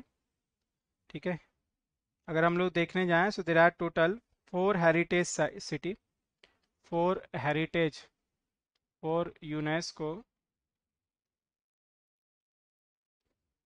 heritage city है। और इसमें से पहली जो है दैट इज़ क्या बोल देंगे हम लोग इसको, पहली को? That is Ahmedabad. तो अहमदाबाद सबसे पहली। दूसरी, जयपुर। फिर तीसरा, ग्वालियर। और चौथा,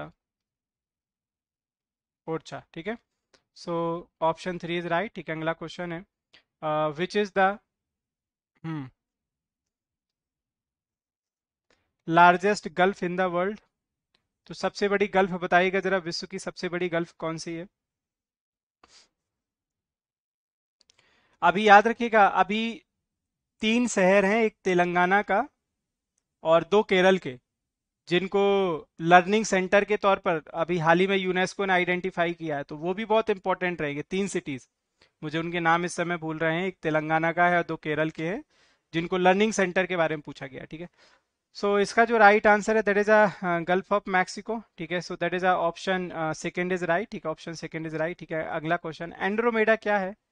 एंड्रोमेडा के बारे में आपने जोग्राफी में पढ़ा होगा। जोग्राफी का जब हम लोग पहला लेक्चर पढ़ते हैं, हमारी अपनी गैलेक्सी का नाम आकाशगंगा पढ़ते हैं मिल्की वे और हमारी मिल्की वे की जो पड़ोसन है, उसका नाम क्या है? दैट इज़ अ एंड्रोमेडा तो याद रखिएगा इट इज़ नेहबर ऑफ़ तो ये याद रखना है कि it is neighbour of our galaxy. और हमारी जो गैलेक्सी का नाम है, that is a milky way. तो हमारी गैलेक्सी का याद रखिएगा, ये नेबर गैलेक्सी, ठीक है? अगला सवाल है कि which of the following states is called the tiger states in India तो निम्नलिखित में से किस राज्य को हम लोग टाइगर स्टेट के नाम से जानते हैं? तो एक ही राज्य जहाँ पर आज प्रधानमंत्री जी के डेट ऑफ़ बर्थ पर चीते छोड़े जा रहे हैं, आठ चीते छोड़े जा रहे हैं, ठीक है? और इसका जो करेक्ट आंसर है that is option four is correct ठीक है वो बात अलग है। अब भाई चीते हैं तो बहुत सारे नेता लोग सेल्फी वगैरह नहीं डाल सकते वरना बहुत सारे नेता युवा नेता परेशान होते आज। और मैंने आपको बताया मीडिया सुबह से चीते दिखा रही है, है ना?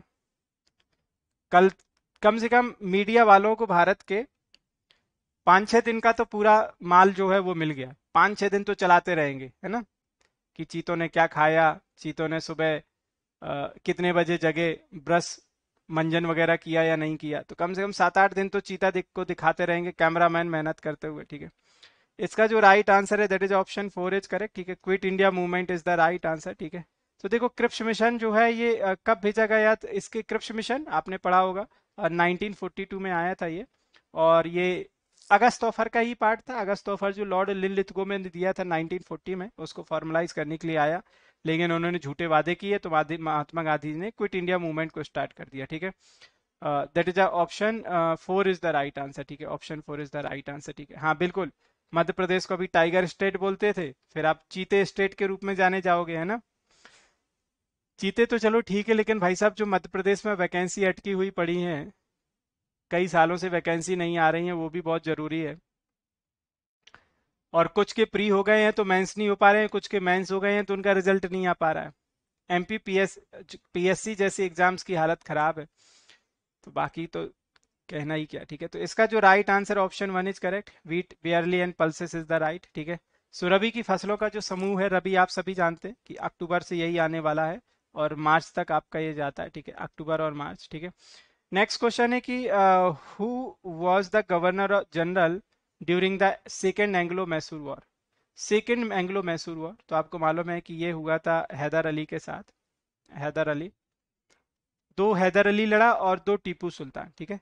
सो इसमें से जो करेक्ट आंसर है that is option four Warren Hastings और वारेन हेस्टिंगिस आपको मालूम होगा कि ये सबसे पहला गवर्नर जनरल था कहाँ का? बंगाल का first governor general of Bengal ठीक है?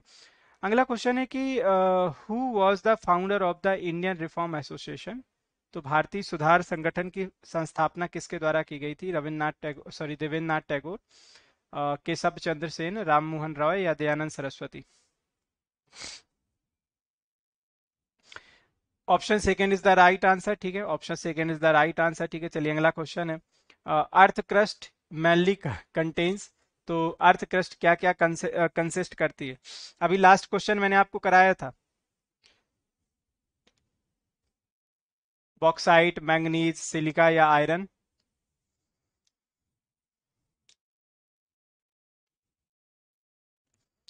so correct answer is option three is correct ठीक है? Silica is the right answer ठीक है? सिलिका और प्लस एल्यूमिनियम ठीक है? ये भी याद रखिएगा सिलिका प्लस कौन सा है? एल्यूमिनियम ठीक है?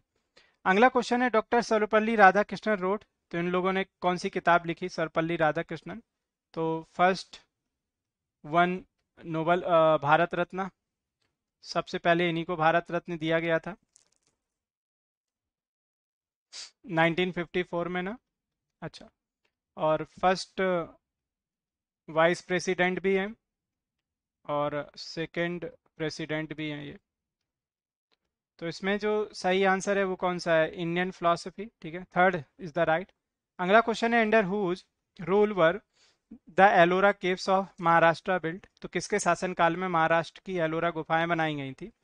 पल्लवा, पाल, चोल या चोलाज या राष्ट्रकूटाज? तो इसका करेक्ट आंसर क्या होगा? आप किस ऑप्शन के साथ जाएँगे? और इसका जो सही आंसर है that is option four is correct ठीक है? Rashtrakuta is the right answer ठीक है? तो एलोरा और याद रखिएगा कौन सा? एलिफेंटा। तो एलोरा और एलिफेंटा की ये जो गुफाएँ हैं, इनके समय में बनाई गई थी राष्ट्रकूटाज के समय में। और एलोरा तो खासतौर से प्रसिद्ध है आपकी कैलासा टेंपल तो मोनोलिथिक है ये। एक माउंटेन को कट करके बनाई गई हैं और यहाँ का जो कैलासा मंदिर है वो अपने आप में बहुत प्रसिद्ध है। अगला सवाल है कि यस, अंडमान और Nicobar island are located in which, कहाँ पर लोकेटेड है? तो आपको मालूम है कि there are, it is a total group of five, seventy two island. तो टोटल पाँच सौ बहत्तर आइलैंड्स का ये ग्रुप है।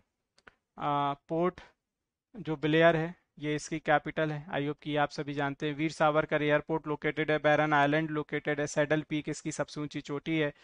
और टेन डिग्री चैनल तो पढ़ा ही होगा। और डंकन पास के बारे में, ठीक है? सो इसका में जो correct answer option second is right ठीक अगला क्वेश्चन है what is the silicon valley famous for silicon valley electronic city की बात कर रहे हैं।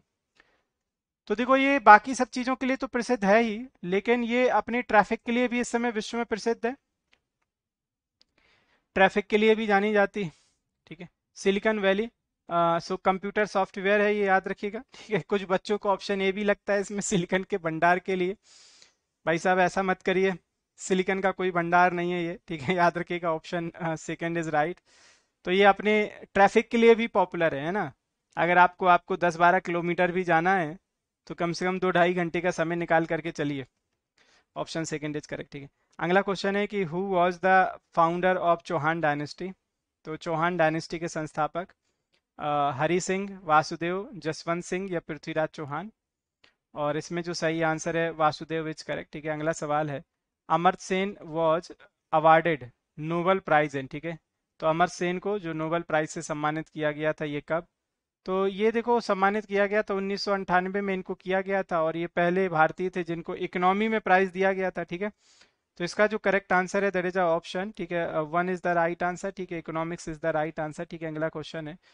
पूछा जा रहा है कि Reunion island I small French island can be found in which ocean तो ये निम्नलिखित में से किस ओशियन में पाया जाता है? कौन सा रीयूनियन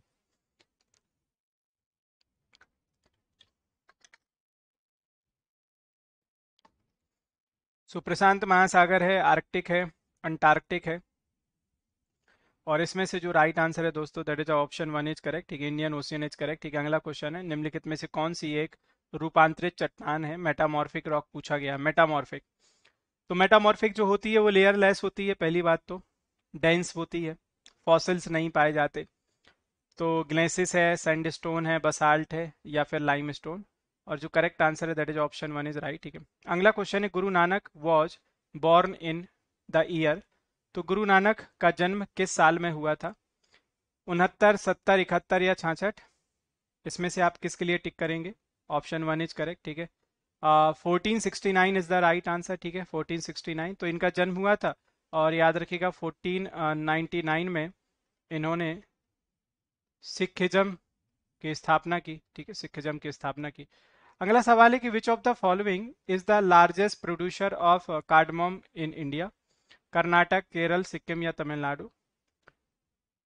तो इसका जो सही आंसर है Kerala option second is right ठीक है ऑप्शन सेकंड इज़ राइट ठीक है, अगला क्वेश्चन निम्नलिखित में से किसका कथन है कि हमारा आदर्श दया याचना नहीं, आत्मनिर्भरता है? Our ideal is self sufficiency not mercy whose statement is this so Gopal Krishna Gokhale होगा, जवाहरलाल नेहरू होगा बाल कृष्ण बाल गंगाधर तिलक होगा या फिर फिरोज शाह मेहता? और इसमें से आप जो सही आंसर टिक करने जाएँगे that is option three is right Bal Gangadhar Tilak is correct option ठीक है?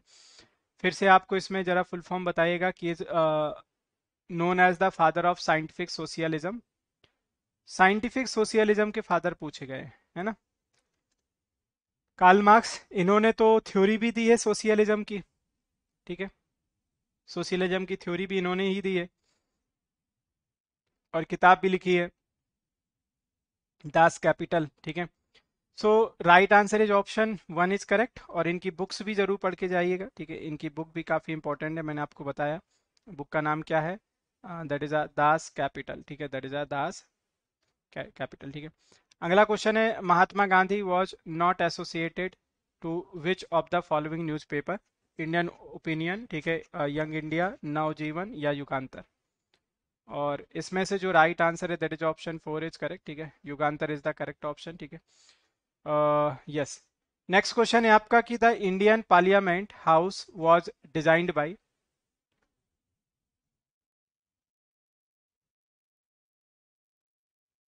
अभी डिफेंस से रिलेटेड अलग से टॉपिक लेकर इंडिविजुअल टॉपिक में ऑलरेडी आपको कवर करा रहा हूँ साढ़े ग्यारह बजे तो आप मेरे साथ डेली जुड़ सकते हैं Monday to Friday morning eleven thirty पर।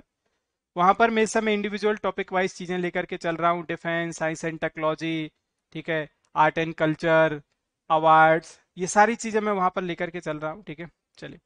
सो so, इसका जो राइट आंसर है that is option three is correct ठीक है Edwin Lutyens is the right answer ठीक है चलिए अगला क्वेश्चन है। Mount Erebus in Antarctica is an example of ठीक है तो ये निम्नलिखित में से किस, किसका एग्ज़ाम्पल है?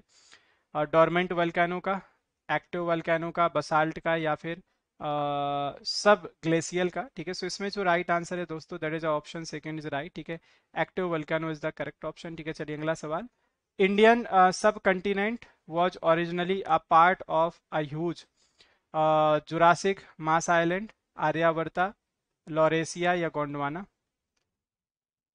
हाँ डेफिनेटली आईटीआई वालों के लिए भी है, ठीक है? सो इसका जो right answer that is a Gondwana तो आपको मालूम है कि जो लॉरेसिया था, उसमें से क्या क्या बना था? लॉरेसिया में नॉर्थ अमेरिका यूरोप और एशिया।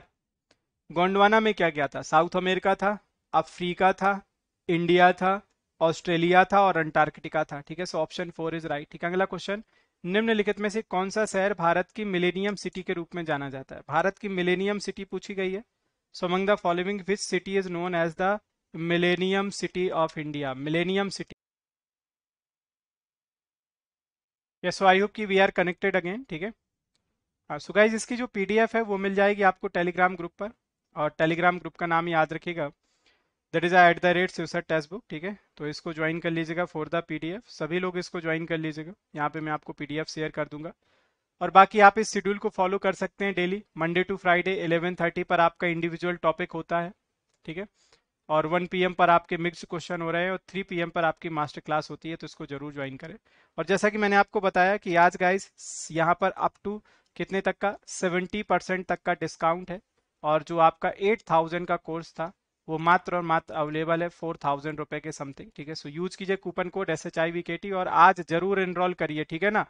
तो जो seven thousand four hundred double nine का कोर्स था, वो सिर्फ़ कितने में अवेलेबल है? That is available only and only three thousand four hundred twelve और बारह महीने की वैलिडिटी के साथ। So use this coupon code to get the maximum discount ठीक है? So thank you so much guys thank you so much attendance ज़रूर अपनी मार्क कर दीजिएगा सभी लोग जितने भी लोगों ने अभी अटेंडेंस मार्क नहीं की है। सो so, मिलते हैं हम लोग कल। कल भी याद रखिएगा आपका एक सेशन है। दो से लेकर के चार। तो कल मिलिएगा मेरे से दो से चार। और कल हम लोग टॉप 150 क्वेश्चंस फिर से कवर करने जाएँगे ठीक है? सो so, मिलते हैं सभी कल। दुआ में याद रखिएगा। Thank you so much